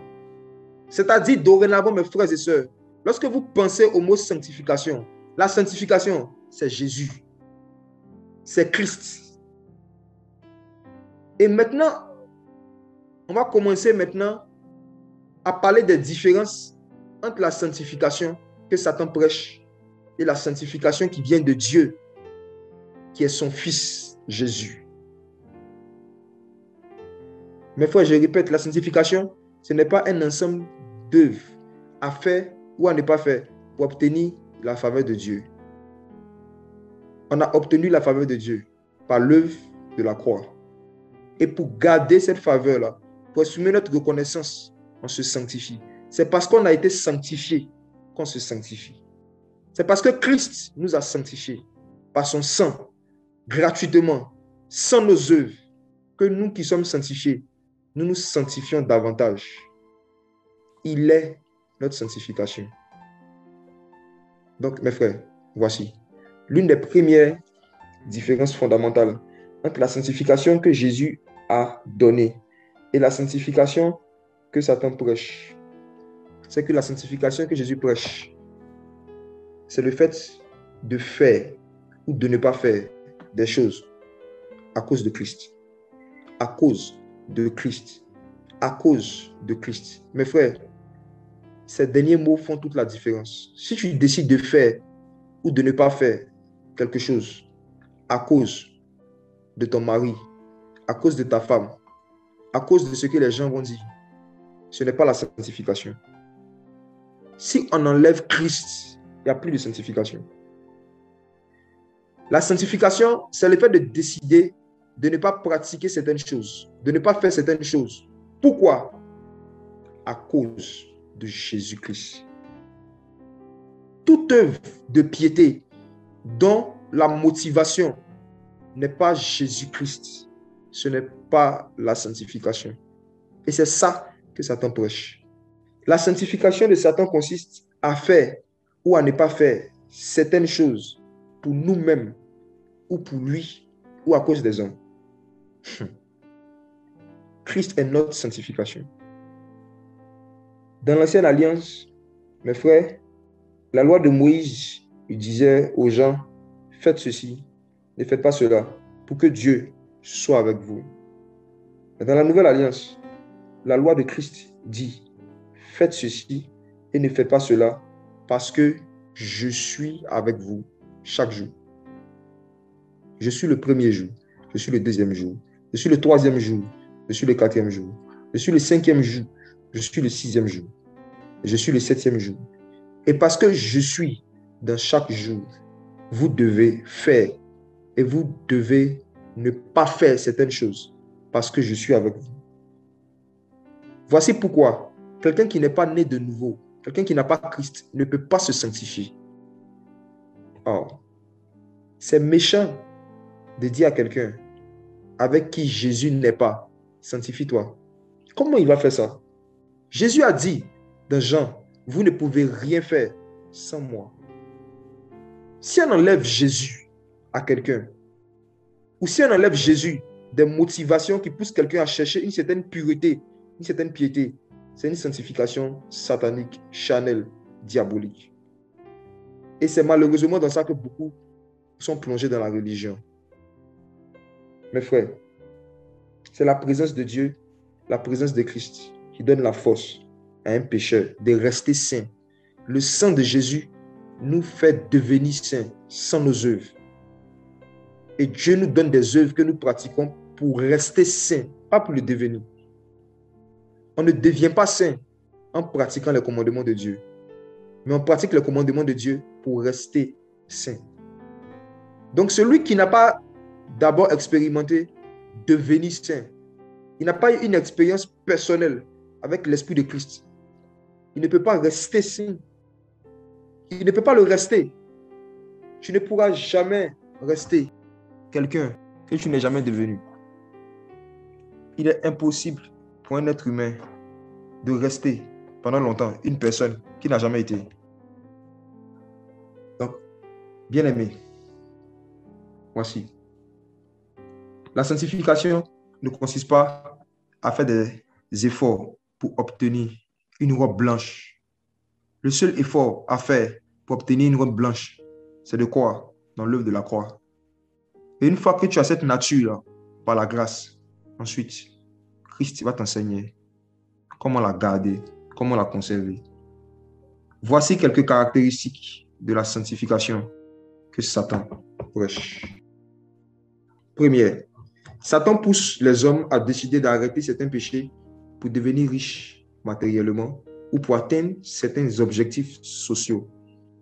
La sanctification qui est inspirée des démons, qui vient du diable, pousse les pécheurs à décider d'arrêter certaines choses, pas à cause de Christ, mais à cause de maman. La sanctification qui vient des démons, c'est le fait de prendre la décision d'arrêter certains péchés parce qu'on veut obtenir quelque chose de matériel, de social. Exemple, Satan apparaît à Jésus et lui dit, si tu te prosternes et m'adores, je vais te donner les richesses de ce monde. En d'autres termes, Satan est en train de prêcher l'adoration à Jésus en lui disant que moi, en fait, lorsque je prêche l'adoration, le but pour lequel les gens doivent m'adorer, c'est pour avoir beaucoup d'argent. Voici l'évangile de Satan. Adorer Dieu pour devenir plus riche matériellement. C'est sanctifier pour devenir plus riche matériellement l'évangile de prospérité. Il y a des gens qui sont dans l'évangile de prospérité et qui ont une forme de sanctification. Il y a des choses qu'ils décident de ne pas faire et de faire. Mais aux yeux du Seigneur, ils ne sont pas dans la sanctification. Pourquoi? Parce que Dieu ne considère pas qu'un acte d'abstinence est une sanctification tant que ce n'est pas fait à cause de son Fils Jésus. Si Jésus n'est pas le but et l'objectif de nos abstinences. Nous ne sommes pas dans la sanctification. Nous sommes dans la morale. Et ça vient de Satan. Et beaucoup de personnes vont se priver de beaucoup de choses à nos yeux. Et ils vont aller en enfer. Pourquoi? Parce qu'ils décident de se priver de certaines choses par amour pour l'argent. On peut se sanctifier par amour pour Christ. On peut se sanctifier par amour de l'argent. Je me rappelle, lorsqu'on partait à, l'école, on passait le bac. Il avait été recommandé à tous ceux qui passaient le bac, vous pouvez me confirmer, en Côte d'Ivoire, c'est récurrent. On dit pendant les périodes où tu prépares ton examen, je ne dois pas coucher avec les femmes. Je ne dois pas aller en boîte de nuit. Je ne dois pas faire les mauvaises choses. Bon ou faux? On dit si tu veux que Dieu t'aide pendant la période de bac, il y a une forme d'abstinence que tu dois faire pour que Dieu soit avec toi. Ça, c'est la sanctification satanique. En d'autres termes, parce que tu veux obtenir un diplôme, tu décides de te faire des privations. Tu ne le fais pas parce que tu as du respect pour l'œuvre de la croix, pour le sang que Jésus a versé pour tes péchés. Mais tu le fais parce que tu as du respect pour un diplôme. Ce n'est pas la sanctification que Jésus a prêché. C'est une sanctification qui vient de Satan. Une autre caractéristique de la sanctification satanique, c'est le fait de décider de se priver de certaines choses que Jésus n'a pas interdites pour faire plaisir à sa propre chair. C'est le fait nous-mêmes d'avoir des totems, d'avoir des interdictions, de choses que Jésus n'a jamais interdites dans sa parole pour satisfaire la chair. Colossiens 2, verset 20 à 23. Est-ce qu'on peut dire ça? Des règles, des interdictions que Jésus ne nous a pas demandé, mais que nous-mêmes on a décidé de faire parce qu'on veut tellement lui prouver qu'on est saint. Colossiens 2, verset 20 à 23. Mhm. Si vous êtes mort avec Christ au rudiment du monde, pourquoi, comme vous vivez dans le monde, vous impose-t-on ces préceptes? Ne prends pas, ne goûte pas, ne touche pas. Préceptes qui tous deviennent pernicieux par l'abus et qui ne sont fondés que sur les ordonnances et les doctrines des hommes. Mhm. Ils ont la vérité, une apparence de sagesse, en ce qu'ils indiquent un culte volontaire, de l'humilité et le mépris du corps, mais le mépris du corps. Mhm. sans aucun mérite et contribuent à la satisfaction de la chair. Tu peux relire la dernière phrase Sans aucun mérite. Sans aucun mérite et contribuent à la satisfaction de la chair. À la satisfaction de la chair. C'est fort. Wow. Il dit, quelqu'un peut décider de ne pas prendre certaines choses, ne pas goûter certaines choses, ne pas toucher certaines choses. Il dit, quelqu'un peut décider de mépriser son corps, d'être rigoureux dans la manière de traiter son corps, mais pour satisfaire la chair. Wow. C'est une sanctification qui est inspirée des démons. Qu'apparemment, l'apôtre Paul voyait se manifester aussi en son temps. C'est quoi? Satan sait que à l'intérieur de l'homme, il y a un désir de pureté. Tous les hommes ont un désir de pureté, un désir de sainteté. Et ce désir-là peut venir de l'esprit, comme il peut venir de la chair. Vous vous souvenez, il y a quelques mois, j'avais partagé un message avec vous sur les désirs spirituels de la chair. C'est de ce genre de choses que je parlais, mais un peu plus en détail là-bas. J'expliquais des envies de faire des choses spirituelles ou des envies de faire des choses qui sont spirituelles, mais qui viennent de la chair. La chair a un désir de pureté et de sanctification qui est contraire au désir de sanctification de l'esprit. Lorsqu'on nous dit que la chair a des désirs qui sont contraires à ceux de l'esprit, c'est aussi même dans le domaine de la sanctification. Est-ce que tu sais, mon frère, que ta chair veut se sanctifier? Même pas pour Dieu, pour elle-même. Comment ça se manifeste de manière pratique Je vais rendre mon témoignage. Vous savez, plus nous sommes ignorants de ce que Jésus a enseigné dans un domaine, plus nous sommes facilement influençables par les démons dans ce domaine dans lequel nous sommes ignorants. Je réponds, plus nous sommes ignorants de ce que Christ a enseigné dans un domaine, plus nous sommes facilement influençables par les démons dans ce domaine. Ils peuvent nous envoyer des raisonnements et des pensées. Et comme nous n'avons pas la connaissance de Christ, nous ne savons pas que ces raisonnements et ces pensées que nous avons s'opposent à la connaissance de Christ. Et nous les mettons en pratique en pensant que c'est Dieu qui nous conduit jusqu'à ce qu'on découvre la connaissance de Christ et qu'on abandonne certaines pratiques. En ce qui me concerne, j'avais un fort désir de me sanctifier, mais vraiment de plaire à Dieu. Et Satan a exploité mon ignorance et mon désir de plaire à Dieu. Lorsqu'il combine les deux, c'est dangereux. Lorsqu'un ignorant veut plaire à Dieu à tout prix, Satan va le récupérer. Alors, de quoi il s'agit? De mon désir de plaire à Dieu, je me suis dit que je ne vais plus mettre sur mon corps les choses du monde. Suivez-moi bien. La définition que j'avais il y a 11 ans en arrière des choses du monde, ce n'était pas biblique. Ce n'était pas selon ce que Christ enseignait. Donc, il y a des pensées et des raisonnements que j'ai développés où les choses du monde, il y avait déodorant dedans. Écoutez bien, déodorant. Donc, j'ai décidé de ne plus mettre le déodorant pour me sanctifier. Il y avait parfum. Donc, je ne me parfumais plus pour me sanctifier. Dans les choses du monde, avait les pommades. Même en temps d'amatin, je refusais de me pommader. Parce que pour moi, un teint frais et sec qui change un homme noir à un teint métis et blanchâtre. Si tu mets une pommade pour combattre ça, c'est Chanel. C'est la chair. Se parfumer, même de manière modérée. Je voyais ça en Chanel. Acheter, avoir au moins deux pantalons, trois pantalons. Je trouvais ça très, très mondain. Très mondain avoir plusieurs chaussures différentes. Je trouvais ça très Chanel. Et à chaque fois que j'achetais de nouveaux habits, il y a une voix qui me faisait culpabiliser, qui me disait, partage ça aux pauvres. Tu as trop d'habits. Je sais que beaucoup d'entre vous, vous êtes dans ça. Vous avez connu ça pour certains. Mes frères, j'ai porté un seul jean pendant plus de trois ans. Et pour moi, J'étais dans la sanctification. Mes frères, je ne mettais pas de déodorant. Oh, j'ai persécuté les narines du corps de Christ.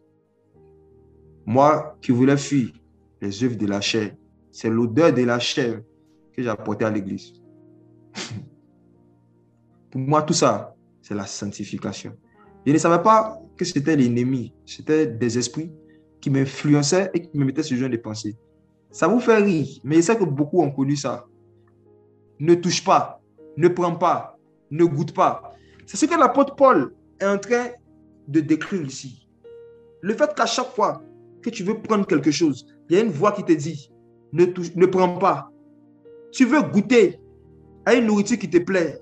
Je suis passé par là. Il y a une voix qui te dit, ça c'est la chair, tu dois renoncer à toi-même. Tu as envie de manger un bon plat, tu as les moyens, tu as l'argent. Mais il y a une voix qui te dit, est-ce que Christ aurait fait ça à ta place? Hmm? Sois humble. Au lieu d'aller manger des plats comme ça, mangez un petit plat humble. Plat quali, petit foutou. Qui en toute franchise s'est senti oppressé un moment par des voix qui te disaient, ne prends pas, ne goûte pas, ne touche pas. Je vous dis, la plupart des enfants du Seigneur sont passés par là. Il y a d'autres qui passent encore par là jusqu'à aujourd'hui. Ne touche pas, ne prends pas, ne goûte pas.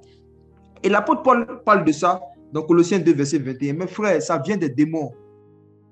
Si tu décides de ne pas prendre, de ne pas goûter et de ne pas toucher quelque chose, il faut être sûr que c'est parce que Christ, dans sa parole, te l'a interdite ou parce que Christ, de manière claire, claire, claire, sans ambiguïté, t'a interdit de ne pas prendre, de ne pas goûter, de ne pas toucher. Sinon, pour savoir que ça vient de l'ennemi, quand tu décides de faire ne prends pas, ne goûte pas, ne touche pas, pour savoir que ce n'est pas Christ, tu n'es pas en joie.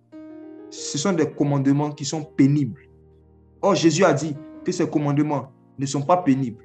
Si en plus des commandements que tu vois dans ta Bible, il y a d'autres commandements que Dieu veut envoyer dans ta vie, ça sera doux et léger. Doux et léger. Mais quand c'est des commandements d'homme, c'est-à-dire que ça vient de la chair, Paul dit que ça devient pernicieux.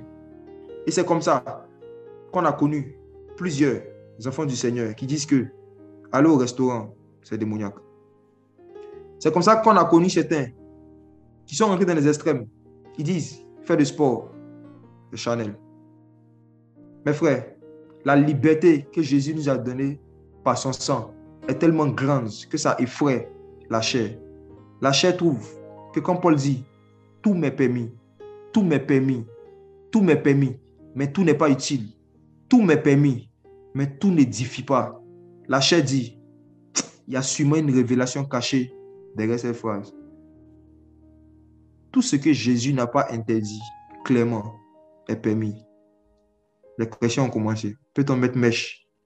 Ma soeur, on a connu des gens qui ont dit que Dieu leur a dit, ne touche pas les mèches, ne goûte pas les tissages, ne même pas les perruques. Mais quand ils ont failli devenir chauves, elles ont commencé à mettre. Le Dieu qui leur avait parlé autrefois ne leur a pas donné une solution par rapport à leur calvitie. Ne même pas des pantalons. C'est ça. Vous avez vu, en fait, Satan envoie des sanctifications. Il inspire des pensées des Indés aux hommes. Il inspire des idées, pardon, aux hommes. Parce qu'il sait qu'ils n'ont pas les yeux fixés sur Christ. Il ne se demande pas, est-ce que Christ a interdit ça? Lorsque, dans ta vie de sanctification, ton critère par excellence, ce n'est pas les saintes écritures, par rapport à ce que Christ a interdit. Les démons vont t'oppresser et te manipuler. Et c'est comme ça que beaucoup d'enfants du Seigneur sont toujours tristes. Ils sont pas joyeux. Ils sont dans une vie de sanctification qui les rend nerveux. Ils sont dans une vie de sanctification qui les rend bizarres. C'est la sanctification qui vient de Satan. La sanctification qui vient de Jésus produit la joie, je vous assure. Quand tu es un enfant de Dieu et que tu pratiques les commandements de Dieu, tu as la joie. Le fruit de l'esprit, c'est la joie. Si l'esprit te pousse à faire quelque chose, la joie, tu dois le faire avec joie. Mais quand c'est pénible, quand c'est pénible, quand ça devient pénible, que ça devient invivable, ça te rend nerveux, il y a forcément une influence démoniaque quelque part. Je vous dis, frère, en la dernière génération, où les gens ont créé des chaînes YouTube, des vidéos, et ils se sont spécialisés dans quoi? Envoyer des nouveaux commandements, des nouvelles interdictions dans le corps de Christ, dont Jésus et les apôtres n'ont jamais parlé. Parce qu'ils trouvent que ce que Jésus a enseigné dans la Bible pour se sanctifier, ce n'est pas assez. Donc, eux, ils ont inventé de nouveaux commandements, de nouvelles règles, de nouvelles choses à faire et à ne pas faire pour se dépouiller, pour se sanctifier. Et parce que la plupart sont ignorants du fait que quelqu'un peut indiquer un culte volontaire. Regardez le verset 23. Georges, s'il te plaît, relis Colossiens 2, verset 23. Regarde quelque chose. Ils ont, à la vérité, une apparence de sagesse en ce qu'ils indiquent un culte volontaire de l'humilité. Culte volontaire. Hmm. Culte volontaire. Ensuite. De l'humilité. De l'humilité. Ensuite. Et le mépris du corps. Le mépris du corps. Oh, Georges. vous au moins, vous qui n'êtes pas encore marié, vous n'avez pas connu ce type de soeur-là, qui était dans Colossiens 2, 23. Georges, mépris du corps, hmm. haut de gamme, mépris du corps, ceinture noire. oh on a souffert. Il y a des femmes, des sœurs en Christ, parce qu'elles sont influencées par ces démons-là, qui poussent les gens dans des sanctifications diaboliques, démoniaques, qui méprisent leur corps à un point où leur teint même change. Quand tu les vois, tu as l'impression qu'elles sont allées visiter l'enfer pendant une semaine physiquement, et puis elles sont revenues. Je vous dis que l'ennemi détruit beaucoup de personnes en utilisant leur envie de se sanctifier. Mais parce que cette envie-là, ils ne cherchent pas les solutions. Et comment se sanctifie En Christ? ils ont créé les chaînes. Je suis allé visiter l'enfer. Dieu m'a montré l'enfer. Il m'a montré que toutes les femmes qui portent des jeans seront en enfer. Il m'a montré que celles qui portent les mèches seront en enfer. Je me rappelle, j'avais eu une conversation il y a quelques années avec un pasteur à ce sujet. Il me disait, voici, il y a une femme qui est morte, elle allait en enfer. Et elle dit que elle, était, elle a vu la porte du paradis. Et qu'il y a beaucoup de femmes qui étaient bloquées à la porte du paradis. Pourquoi? Parce que quand elles voulaient rentrer, leur mèche devenait longue. Et leur mèche leur bloquait la porte du paradis. Il y a d'autres, elles voulaient rentrer au paradis.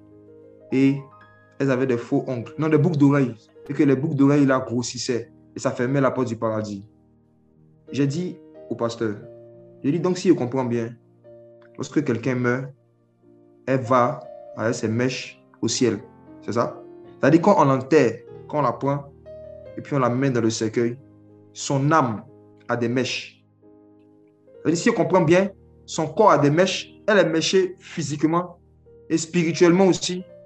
Elle a des mèches. Et quand elle meurt, ses mèches, et puis elle a des boucles d'oreilles spirituelles. Attention, ses mèches et ses boucles d'oreilles la suivent.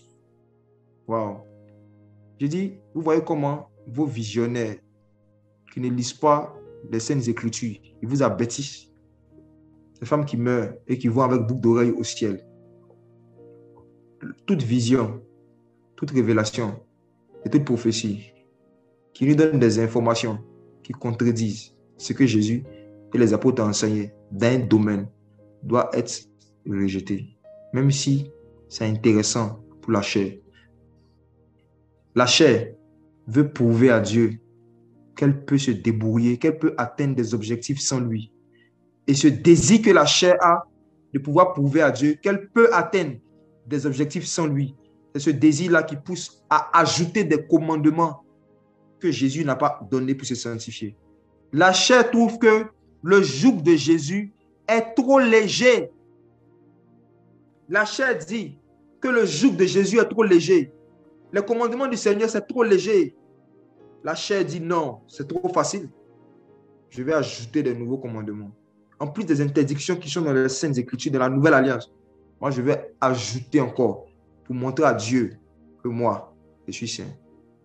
C'est Chanel. Et c'est encouragé par le diable. Si vous êtes dans ça, que Jésus vous délivre. Étudiez vos Bibles. Étudiez ce que Jésus et les apôtres ont enseigné.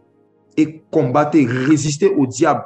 Si des pensées viennent pour vous dire, ne touche pas, ne prends pas, ne goûte pas, il faut dire, oh chère pensée, montre-moi des versets où Jésus m'a dit que je ne dois pas manger telle chose, ou je ne dois pas goûter telle chose.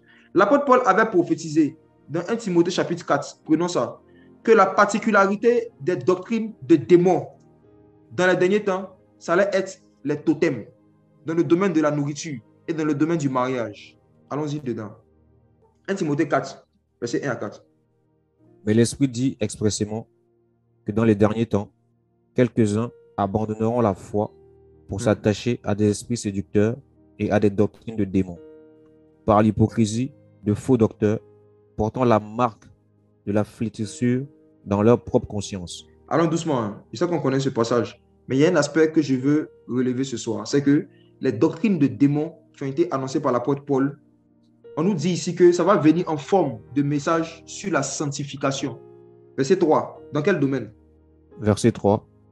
Prescrivant de ne pas se marier et de s'abstenir uh-huh. d'aliments que Dieu a créés pour qu'ils soient pris avec action de grâce par ceux qui sont fidèles et qui ont connu la vérité. Ok. Vous voyez, il nous parle des doctrines de démons. Et il nous dit que les doctrines de démons vont venir en forme de message sur le mariage qui dit de ne pas se marier. Pourquoi? En général, on dit pour se sanctifier. doctrine de démons. Doctrine de démons. Il y a beaucoup, j'ai connu beaucoup de sœurs en Christ qui disent qu'elle ne veut pas se marier parce qu'elle veut se garder pour Dieu. Or, Dieu ne lui a pas dit, garde-toi pour moi. Mais elle-même, elle dit, je vais me garder pour toi. Et parfois, elles ne savent pas qu'elles sont influencées par des démons. Le désir de se garder et de ne pas se marier peut venir de Dieu. Ça peut venir aussi de Satan. Il faut qu'on en soit conscient. Ce n'est pas parce que quelqu'un décide de ne pas se marier pour Dieu que ça veut dire que c'est Dieu qui le conduit à faire cela. Paul dit que les démons et les faux docteurs vont pousser des personnes à ne pas se marier pour Dieu. Exemple, l'Église catholique. L'Église catholique. L'Église catholique. Quand un prêtre, qui parfois, en général, ils sont très sincères, ils veulent servir Dieu. Ils veulent servir Dieu. Satan leur propose une sanctification qui n'est pas de Dieu, en leur disant de ne pas se marier. Au moment où Paul disait ça, le catholicisme n'existait pas. Mais il y avait d'autres sectes, d'autres religions qui existaient, où les prêtres de ces sectes, l'une des conditions qu'on leur donnait pour pouvoir exercer, c'est de ne pas se marier. Je vous assure, Ça peut ressembler à une vie de consécration ceinture noire. Mais c'est une influence satanique. Parce que Satan sait que si tu n'es pas eunuque, si Dieu ne t'a pas donné l'onction d'un eunuque et que tu décides de ne pas te marier, c'est la pornographie qui va te tuer. C'est la masturbation qui va te tuer. Si Dieu ne t'a pas appelé, ne t'a pas donné le don de célibat, c'est l'impudicité qui va te tuer. C'est ce qui se passe dans beaucoup de milieux où les gens décident de ne pas se marier sous l'influence des démons. Donc, il dit que dans le domaine du mariage, il y aura des totems, des interdits, que de faux docteurs, des faux enseignants vont prêcher. Ensuite, dans le domaine de la nourriture, de s'abstenir de viande. Il y a des chrétiens qui disent qu'ils ne mangent pas le porc. Il y a d'autres qui disent qu'ils ne mangent pas le poulet. Même dans nos familles, ici en Afrique, y a des totems par rapport à la nourriture. Il y a certains aliments que tu ne dois pas manger. Forme de sanctification. Satan, même dans le fétichisme, même dans les religions des choses de ce monde, il y a des aliments que Satan dit aux gens de ne pas manger. Vrai ou faux? Il y a des totems dans les familles. Il y a des choses qui disent de ne pas manger. Dans certaines familles. Et on dit quand tu manges, il y a des malheurs qui t'arrivent. Est-ce qu'il y a quelqu'un parmi ceux qui sont connectés qui est dans une famille où vous n'avez pas le droit de manger certains aliments de peur que certains malheurs vous arrivent Si c'est le cas, tu peux écrire ici. On va prier pour ça aujourd'hui. Ces choses-là, ce sont des sentences sataniques. Ce sont des sanctifications que Satan exige dans une lignée. Ce sont des sanctifications que des démons envoient dans une lignée. Mais Jésus n'a pas enseigné ça. Et c'est un jour.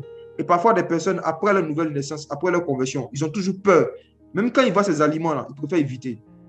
Ils n'ont pas une pleine liberté.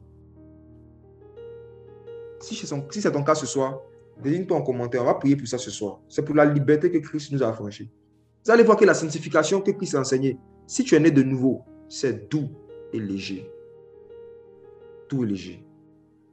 quand c'est trop pénible, et tu deviens hypocrite, on dit l'hypocrisie des faux docteurs. C'est-à-dire quoi? Les faux enseignements. Qu'est-ce que ça produit L'hypocrisie? Quand des hommes inventent des interdictions, ils inventent des commandements, des doctrines que Jésus n'a pas prêchées, ça rend les gens hypocrites. Hypocrites, ça les rend faux. Les gens ne font pas les choses par conviction. Ils font les choses à cause du prédicateur. Ils font les choses par peur d'être rejetés de la communauté. Ça, ce n'est pas la sanctification. Ce n'est pas la sanctification de Jésus. Le fait de ne pas faire des choses à cause du pasteur, à cause du prédicateur, à cause de l'assemblée, ce n'est pas la sanctification. Et beaucoup de gens sont en train de partir en enfer pour ça. Christ est notre sanctification.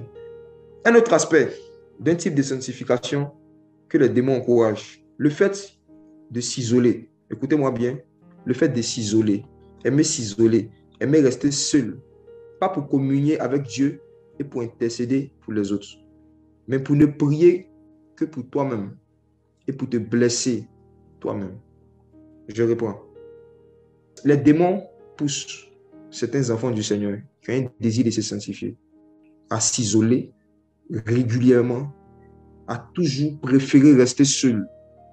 Préférer rester seul. Pas pour communier avec Dieu et pour intercéder pour ses frères en Christ. Non. Mais pour ne prier que pour soi-même et pour se blesser soi-même dans ses pensées. Je m'explique. Je m'explique. On nous parle dans Marc chapitre 5 d'un homme qui était fou.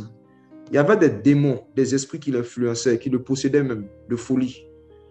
Et regardez, ces démons le poussaient dans quelque chose qui ressemble à la sanctification, qui ressemble à la consécration. De quoi il s'agit? On nous dit que cet homme, allons lire ça, Marc 5, verset 3. Georges, allons-y, s'il te plaît. Cet homme avait sa demeure dans les sépulcres, et personne ne pouvait plus le lier, même avec une chaîne. Cet homme avec sa demeure où? Dans les sépulcres. Ok. Donc, c'est quelqu'un qui n'aimait pas trop la compagnie des autres. C'est un démon qui faisait ça. Il préférait habiter dans un lieu qui n'est pas habité. C'est un démon qui faisait ça, dans son cas.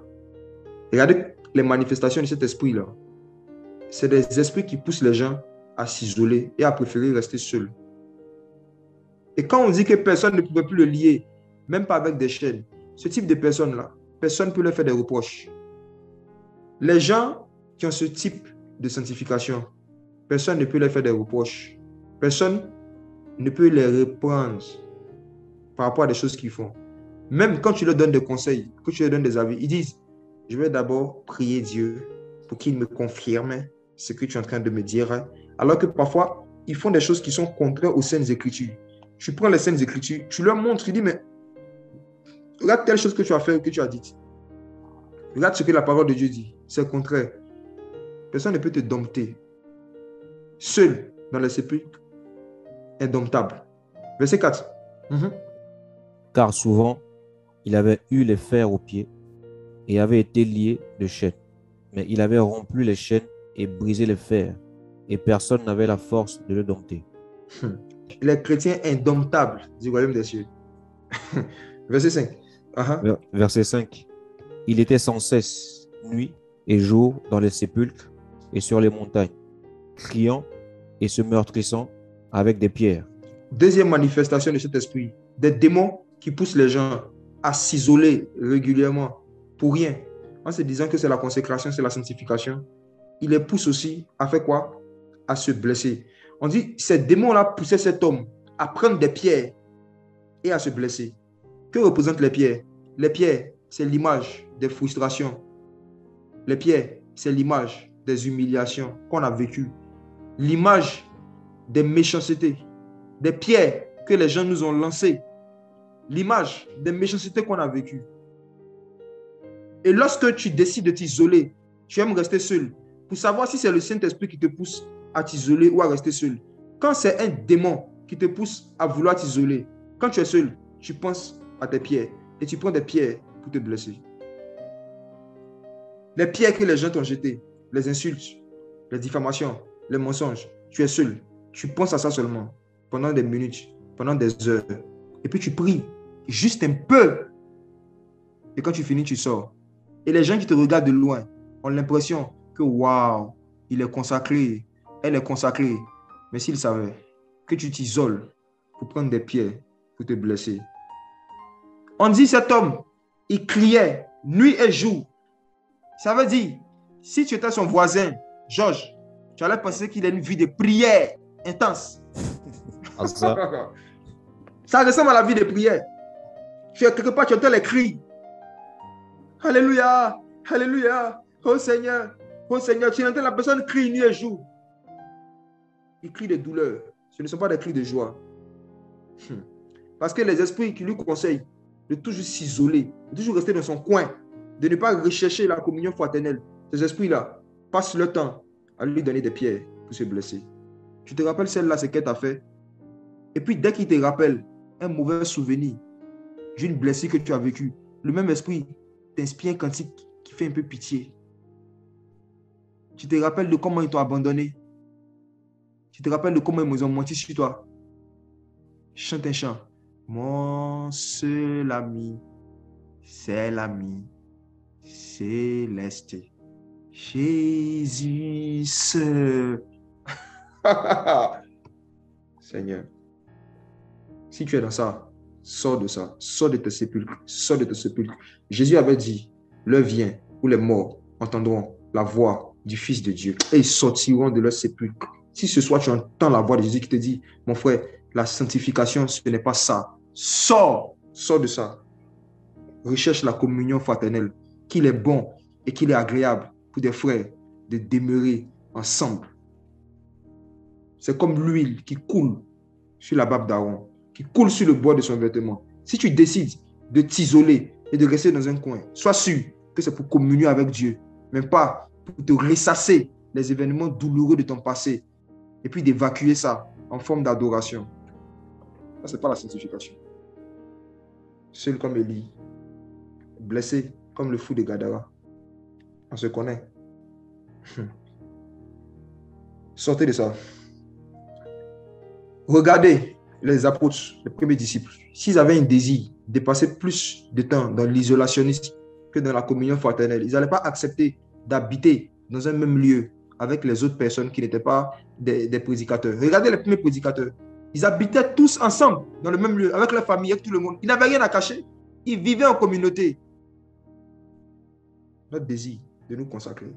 Consacrer, c'est sanctifier, c'est mettre à part. Ça peut être poussé aussi par des esprits impurs. Et lorsque ce sont des esprits impurs qui créent ce type d'isolationnisme, voici ce que ça crée. Hmm. Ça provoque en toi un mépris. Ça te pousse à mépriser et à considérer comme impurs les personnes qui ont des points de vue différents que toi sur des sujets que Jésus et les apôtres n'ont jamais prêché. Je reprends. La sanctification qui vient des démons pousse ceux qui la pratiquent à développer des sentiments qui n'étaient pas en Jésus-Christ. La Bible dit, ayez en vous les sentiments qui étaient en Jésus-Christ. Et l'un des sentiments qui n'étaient pas en Jésus-Christ, c'est le mépris. Et le fait de considérer comme impur des personnes qui ont des points de vue différents du nôtre sur des sujets que Jésus et les apôtres n'ont jamais prêché ou sur des sujets qui ne sont pas salutaires. Voici ce que les sanctifications sataniques produisent. Moi, je suis convaincu de ne plus porter pantalon. C'est ma sanctification. Donc, tous ceux qui portent pantalon, ils n'aiment pas la vérité. Parce que pour moi, la vérité, c'est le pantalon. Ce type de sanctification, cette, cette manière de voir les gens, de raisonner, ça vient des démons. Pourquoi? C'est de l'orgueil. Permettez-moi d'aller plus loin. Une autre caractéristique de la sanctification que Satan a prêché, je vais m'attarder un peu sur ce point, c'est le fait de développer un niveau de mépris et de haine pour des personnes au point où on décide de ne plus leur montrer de la courtoisie, du respect et de la compassion parce qu'on les considère comme des égarés, des impies. Mais on fait tout ça au nom de la sainteté. Je reprends. C'est le fait de ne plus montrer de la courtoisie, du respect, de la compassion aux personnes que nous considérons comme des égarés, comme des impies. Mais on fait ça comment? Au nom de la sainteté. Je vais donner des exemples très pratiques qui sévissent dans le corps de Christ moderne là. Hmm. Mes frères, avant de continuer, n'oubliez jamais Galates 5, verset 22. Le fruit de l'esprit, c'est l'amour. Peu importe ce que l'esprit de Dieu doit t'inspirer à faire, va te pousser à faire, si ça déforme ton amour pour quelqu'un, ça ne vient pas du Saint-Esprit. Retenez ça bien.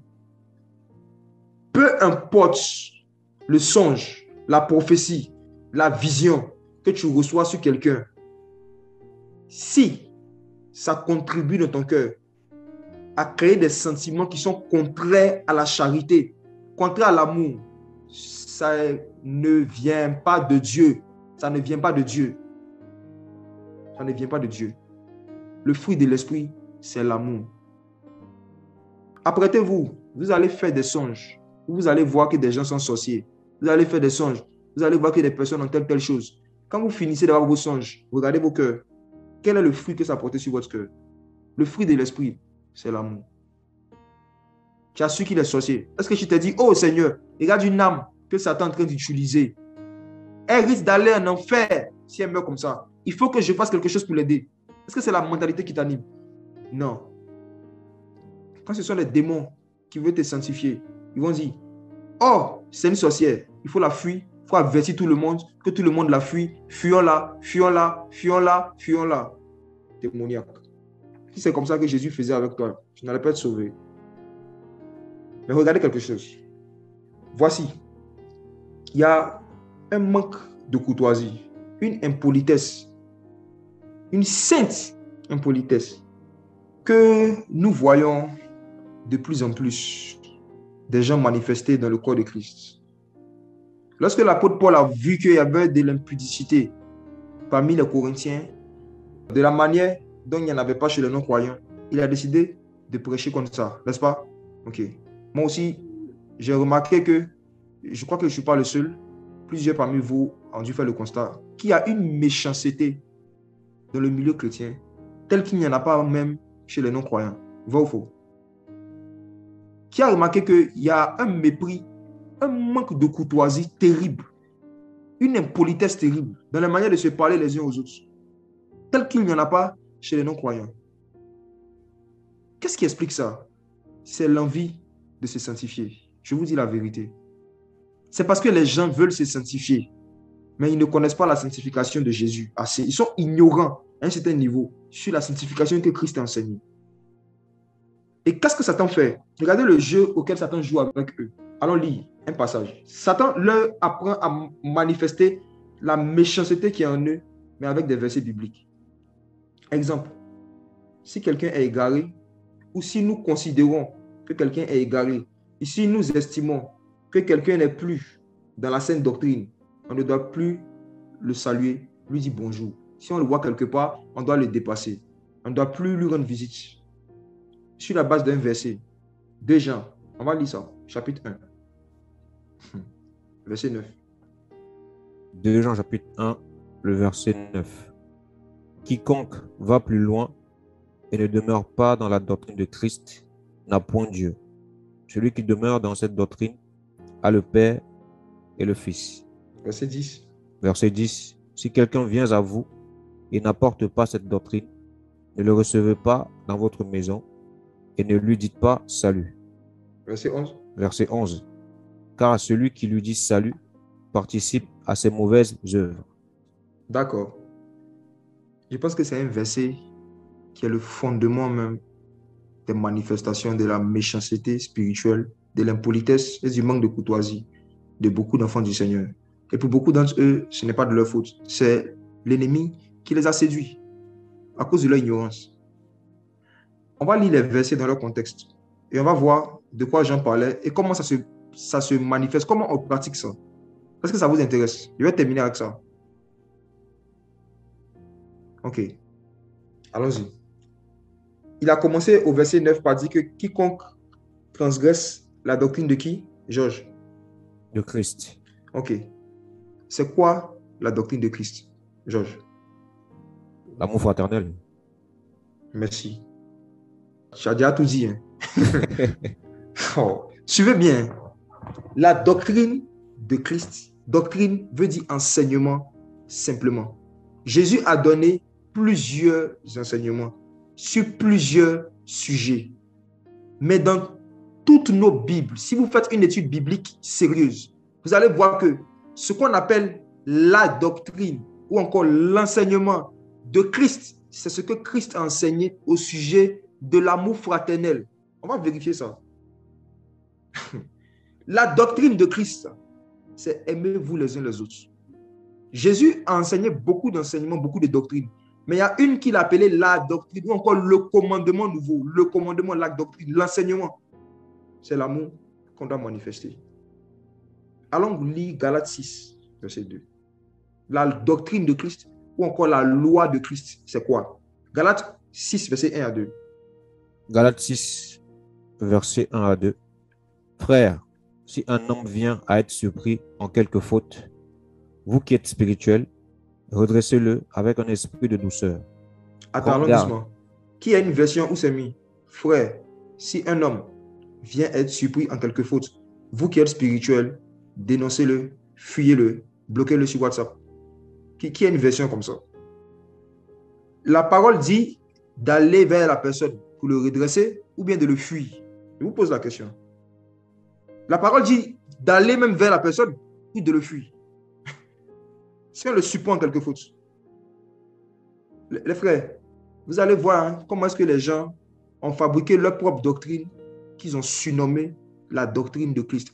Et si vous aussi, vous n'avez pas la définition biblique de ce que les apôtres dans nos Bibles appelaient la doctrine de Christ ou encore la loi de Christ, vous allez les suivre dans leur égarement. Frère, on dit si on surprend un homme en quelque faute, on doit aller vers lui avec un esprit de douceur, la courtoisie, la politesse. Est-ce que vous voyez? Ce n'est pas parce que quelqu'un est un pécheur qui n'a pas droit au respect. Ce n'est pas parce que quelqu'un est un impie à nos yeux qu'il n'a pas droit à un minimum de douceur et de courtoisie dans la manière de lui parler. Lisons la parole. Tu peux relire Galates 6, verset 1 à 2. Ok, Galates 6, verset 1 à 2. Mhm. Frère, si un homme vient à être surpris en quelque faute, vous qui êtes spirituel, redressez-le avec un esprit de douceur. Hmm. Prends garde à toi-même de peur que tu ne sois aussi tenté. Verset 2. Verset 2. Portez les fardeaux les uns des autres et vous accomplirez ainsi la loi de Christ. Ah, mes frères, comment est-ce qu'on pratique la loi de Christ ou encore la doctrine de Christ? Comment on pratique, Georges? En portant les fardeaux les uns les autres. Ok. Donc, est-ce que vous êtes d'accord avec Paul que la loi de Christ, la doctrine de Christ, c'est porter les fardeaux les uns des autres? Qui est d'accord avec Paul? C'est comme il dit souvent, il y a des gens qui n'aiment pas Paul. Ils font semblant de l'aimer. Voici ce que lui, il appelle la loi de Christ. Ça n'avait rien à voir avec une affaire de pantalons, des mèches, des bijoux. Il utilise telle version de la Bible, il n'utilise pas telle version. Voici la doctrine de Christ ici. Porter le fardeau les uns des autres. Maintenant, relisons 2 Jean chapitre 1, verset 9.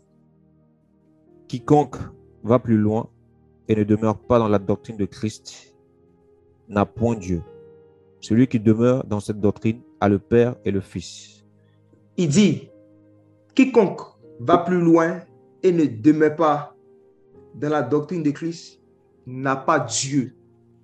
Et c'est quoi la doctrine de Christ? Quiconque ne cherche pas à porter le fardeau des autres n'a pas Dieu.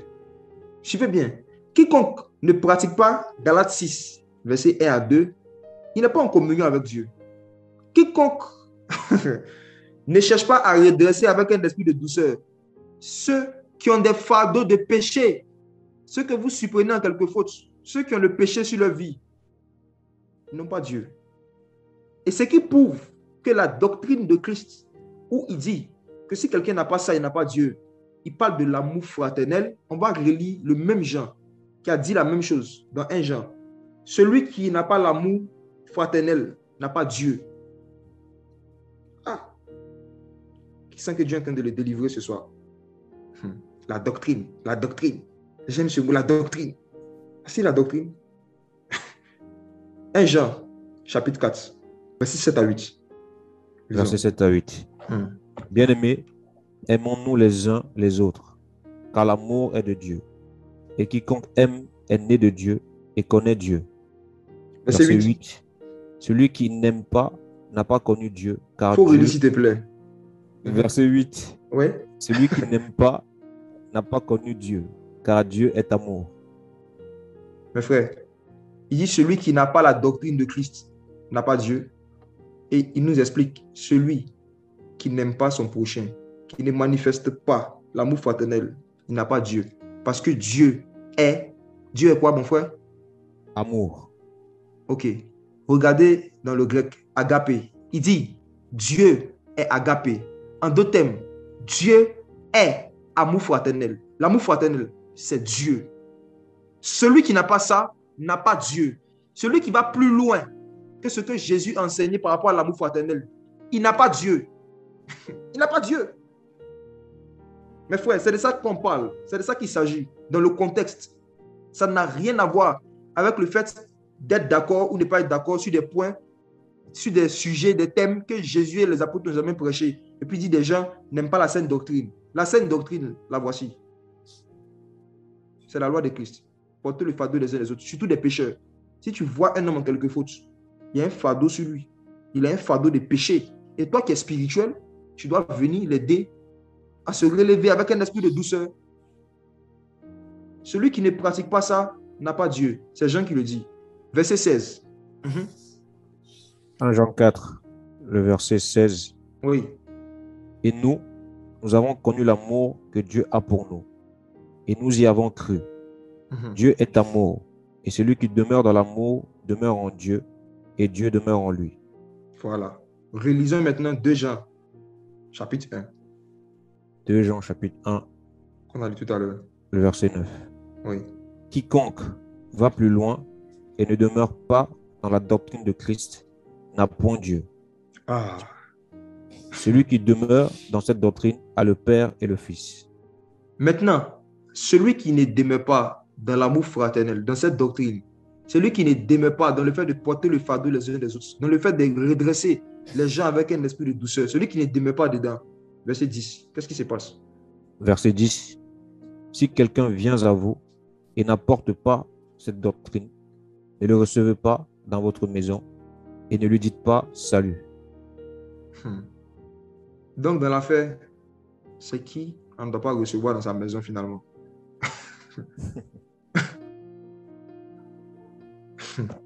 Regardez quelque chose. Laissons, laissons, laissons ça. Si quelqu'un vient à vous et n'apporte pas cette doctrine, donc il parle de quelque chose de spécifique, donc il a déjà parlé dans, dans un genre, dans la première épître, qui montre que quelqu'un a Dieu, oui, il n'a pas Dieu. Et cette chose, c'est la charité, l'amour fraternel. Ne le recevez pas dans votre maison. Ne lui dites pas salut. Alors, ce verset a fait des dégâts à cause de son interprétation charnelle. Quand tu as un cœur méchant, tu interprètes toujours des passages dans le sens de ta méchanceté et des démons vont t'inspirer et vont t'aider à trouver des versets sur lesquels tu peux appuyer ta méchanceté et ton impolitesse. Au nom de ce passage biblique, beaucoup d'enfants du Seigneur ont décidé de ne plus recevoir dans la maison et de ne plus saluer leur Père dans la foi. Hmm. Au nom de ce passage biblique, beaucoup de personnes ont décidé de ne plus recevoir chez eux et de ne plus dire bonjour, de ne plus saluer leurs propres parents, pour certains. D'autres, leurs tuteurs, d'autres, des personnes qui leur ont rendu des services. Parce que Satan et les démons ont inspiré une interprétation qui s'est répandue comme un venin dans le corps de Christ. Laquelle, si quelqu'un n'est pas d'accord avec notre doctrine, pas la doctrine de Christ, pas la doctrine de Christ, notre doctrine, que nous avons surnommée la doctrine de Christ, on ne doit pas lui dire bonjour. Or, l'apôtre Jean n'a jamais dit ça. Et pour le savoir, il faut regarder dans le grec le mot qui était traduit par salut. Vous serez estomaqué. Georges, regarde. Le mot qui a été traduit, ne lui dites pas salut. Qu'est-ce que ça signifie? Ça signifie se réjouir, être heureux. Ensuite? Être extrêmement réjoui. Mes frères, Jean dit, si vous voyez que quelqu'un n'a pas la doctrine de Christ, ne lui dites pas, sois heureux, réjouis-toi de ta situation. Ça n'a rien à voir avec dire bonjour. Si Jean est en train de dire à l'Église de ne pas dire bonjour à des gens qui sont censés être des impies et des égarés, Jean allait contredire complètement ce que Jésus a enseigné dans Matthieu, que nous allons lire maintenant. Matthieu chapitre 5. Et ça allait faire de Jésus un Dieu très impoli, très, très impoli, qui encourage ses disciples à ne pas dire bonjour. Alors que lui-même, dans Matthieu 5, regardons ce qu'il a dit par rapport au fait de saluer quelqu'un, au fait de dire bonjour. Regardons. Matthieu chapitre 5, verset 44. Mais moi, je vous dis, aimez vos ennemis. Bénissez Allons doucement, allons, doucement. Ok. Mes, frères, aimez vos ennemis. Aimez vos ennemis. Ma question. Est-ce que, mon Georges, hmm. si tu vois quelqu'un que tu aimes, tu vas pas lui dire bonjour? Si. Même nos ennemis, on n'a pas le droit de ne pas leur dire bonjour. Hmm. Même nos ennemis. La plus forte raison des gens, qu'on dit, ils étaient des frères, mais ils se sont égarés. Tu peux voir quelqu'un que tu aimes et puis être impoli. Vous vous croisez, tu le regardes dans les yeux, tu le fixes dans les yeux, puis tu le dépasses. Alors qu'il est plus âgé que toi. Elle est plus âgée que toi. Aimez vos ennemis. Ensuite. Bénissez ceux qui vous maudissent. Faites du bien à ceux qui vous haïssent et priez pour ceux qui vous maltraitent et qui vous persécutent, afin que vous soyez fils de votre Père qui est dans les cieux, car il fait lever son soleil sur les méchants et sur les bons, et il fait pleuvoir sur les justes et sur les injustes. Verset 46. Verset 46. Si vous aimez ceux qui vous aiment, quelle récompense méritez-vous? Les publicains aussi n'agissent pas-ils de même? Maintenant, Jésus va faire un parallèle entre la sanctification des publicains, des païens et la sanctification de ses disciples. Les païens manifestent l'amour envers ceux qui les aiment. Il dit, si vous décidez de manifester l'amour, avec tout ce que ça implique, hein, la courtoisie, la douceur, à quelqu'un, seulement à ceux qui vous aiment, vous êtes des païens. vous vous comportez comme des païens, du moins. C'est la sanctification version païen. Verset 47. Verset 47. Et si vous saluez seulement vos frères. Hey! Allons-y. Si vous saluez seulement vos frères, que faites-vous d'extraordinaire? Ah Les ah. païens aussi n'agissent-ils pas de même Faut pardon. Et si vous saluez seulement vos frères, que faites-vous d'extraordinaire? Les païens aussi n'agissent-ils pas de, de même Arrêtons-nous là. Bien-aimé, posons-nous une question. Lorsque Jésus est en train de dire à ses disciples, si vous saluez seulement vos frères, vous faites comme les païens. Est-ce que Jean était là? Qui pense qu'il était là? Jean était là, n'est-ce pas?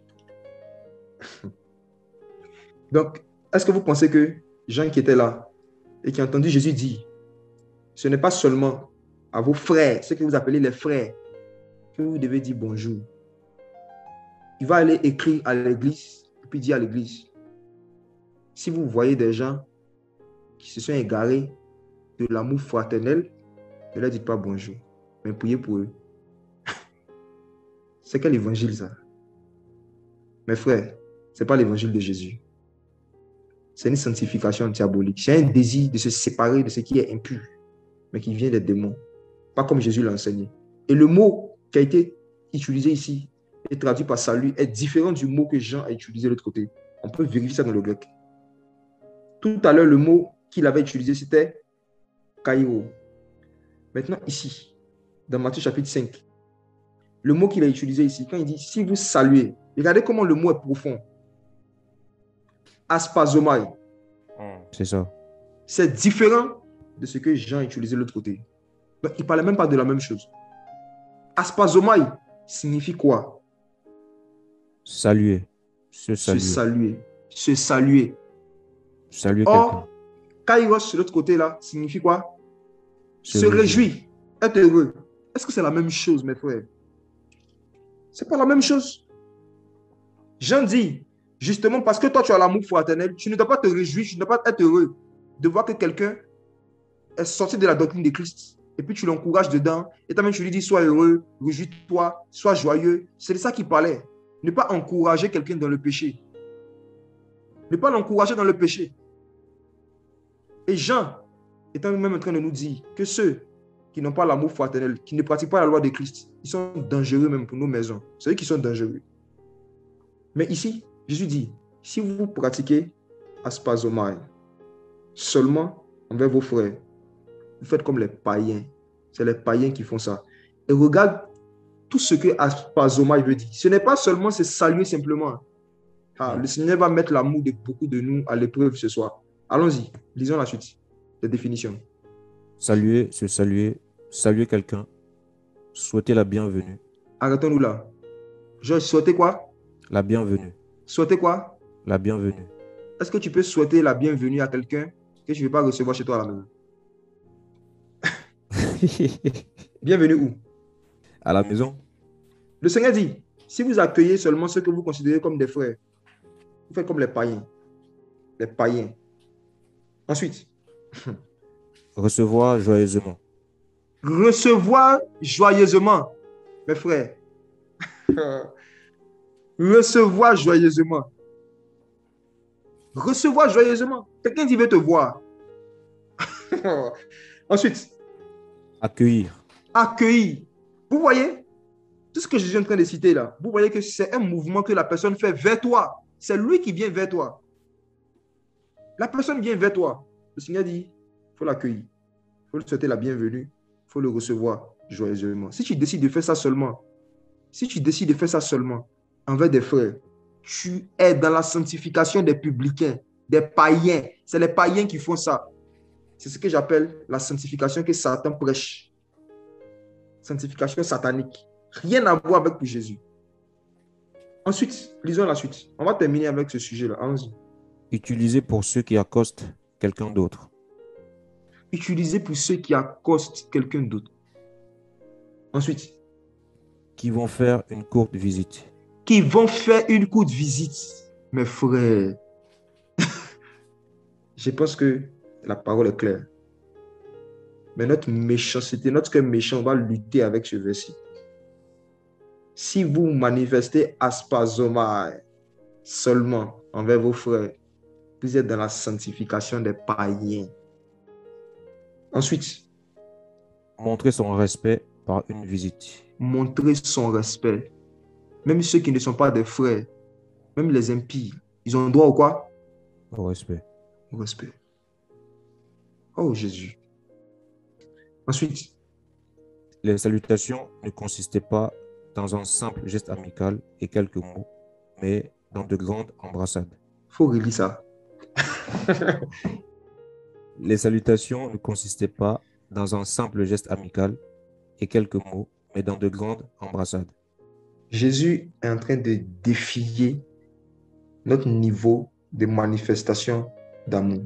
Il dit, aspasomai signifie aussi saluer quelqu'un, pas juste par un simple geste, mais par quoi? De grandes embrassades. De grandes embrassades, les accolades. Si tu décides de ne faire des accolades que seulement à ceux qui t'aiment et à tes frères, tu fais comme les païens. J'ai une sanctification diabolique, chanel, démoniaque, en disant que si je le prends dans mes bras, va m'affecter, va m'infecter, va m'envoûter. Oh, oh, Jésus, dans le jardin d'Éden, il était rempli de sa doctrine, l'amour. Quand Judas est venu, Judas savait, il savait que cet homme pratique tellement aspasoma que malgré qu'il savait que Satan l'avait possédé, Judas n'était pas possédé par un démon. Il était possédé par qui? Par Satan. Mais Judas savait que Jésus acceptait même la bise des satanistes. Est-ce que vous êtes là? Judas savait que le Fils de l'homme, même la bise des satanistes, acceptait ça. Judas savait que Jésus était passé maître dans l'art de pratiquer aspasoma. Aspasoma. Il dit, moi le sataniste, je vais te donner un bisou à cet homme qui n'a jamais péché. Moi qui suis possédé par Satan, je vais aller prendre dans mes bras, je vais faire de grandes embrassades à celui qui est saint, celui même qui est la sanctification. La sanctification fait cher à accepter les embrassades de quelqu'un qui est possédé par Satan. Et toi, tu dis que tu ne peux plus faire d'accolade à ta mère biologique, à ton père biologique, à ta tante, à tes soeurs, à tes frères, parce qu'ils t'ont blessé, parce qu'ils sont des satanistes, parce qu'on t'a dit qu'ils sont des sorciers. Donc fais attention. Donc pour toi, fais attention. On dit que même si tu les salues dans la main, tu vas prendre un démon. S'ils te font une accolade, tu vas prendre deux démons. Vous voyez comment est-ce que le diable est mauvais et qu'il a poussé par ignorance beaucoup d'enfants du Seigneur dans une forme de sanctification qui contredit la doctrine, c'est-à-dire ce que Jésus a enseigné. Contredit ce que Jésus a enseigné. Et ça ressemble à la sanctification. On va s'arrêter là. Est-ce qu'on peut prier? Est-ce qu'on peut humilier nos cœurs devant Dieu? On a parlé de beaucoup de choses. Mais qu'est-ce qui t'a touché en particulier? Dans quoi est-ce que tu t'es reconnu? Est-ce que tu as vu qu'il y a une forme de sainteté et de sanctification que tu pratiquais qui était contraire à ce que Christ enseigne? Ou qui n'était même pas de Christ? Est-ce que tu as vu qu'il y a des interdictions? Ne goûte pas, ne touche pas, ne prends pas dans ta vie qui t'oppressent et ce joug n'est même pas doux et léger. Tu vas humilier ton cœur devant Dieu dans la prière. On va prier très sérieusement. Tu vas dire, Seigneur Jésus, sanctifie-moi. Jésus a dit, sans moi, vous ne pouvez rien faire. Vouloir se sanctifier sans se baser et se fonder uniquement sur ce que Jésus a enseigné nous faire rentrer dans d'autres formes de sanctification qui ne profitent qu'à Satan et aux démons. Jésus est notre sanctification. Tu vas dire, Seigneur, j'ai réalisé l'état de mon cœur. Je ne peux même pas changer mon cœur. Je ne peux même pas changer ces habitudes que j'ai. Change mon cœur. Tu vas dire au Seigneur de changer ton cœur, de te sanctifier. Tu vas dire au Seigneur de sanctifier ton cœur, de donner un cœur comme son cœur. Et tu vas t'engager toi-même personnellement à partir d'aujourd'hui à méditer, à chercher à connaître qu'est-ce que Jésus a interdit, qu'est-ce qu'il n'a pas interdit, qu'est-ce que Jésus nous a demandé de faire ou de ne pas faire? On a le devoir, chacun d'entre nous, de connaître ces choses pour les mettre en pratique. Il a dit dans Jean 13, verset 35, que la manière dont les gens vont reconnaître que vous êtes mes disciples, c'est dans votre capacité de manifester l'amour les uns envers les autres. C'est ça qui est la doctrine, c'est ça qui est la marque de Christ, c'est la charité. C'est comme ça que les gens vont nous reconnaître. De la même manière que quand on voit une voiture, en voyant seulement le logo, on peut dire ça, c'est Mercedes ou c'est une BMW. Même si on n'a pas vu écrit Mercedes, mais la connaissance du logo nous aide à identifier à qui appartient la marque. De cette même manière, notre logo, c'est la charité. C'est l'amour. Et le Seigneur dit, c'est comme ça qu'on va reconnaître qu'on appartient à Jésus. Mais on a tellement échoué dans ce domaine-là. Tellement. Moi-même qui vous parle le premier, toutes ces choses dont je suis en train de vous parler, c'est des éclairages qui m'ont poussé à revoir ma conduite, mon attitude avec des personnes. Dans mon cœur déjà, humilions-nous devant Dieu. Humilions-nous dans la prière. Pendant que tu es en train de prier, moi je vais prier pour des personnes qui sont dans des familles où il y a des interdits, des jougs par rapport à la nourriture. Le fait que Paul dit aussi que les doctrines des démons vont dire aux hommes de ne pas se marier. Parfois, ça se fait à travers des malédictions familiales. Dans une famille, il y a des démons qui disent que les femmes ne doivent pas se marier ou les hommes ne doivent pas se marier. Et ils combattent les initiatives et les tentatives de mariage de ces hommes-là. Mais Jésus peut racheter quelqu'un de tout ça.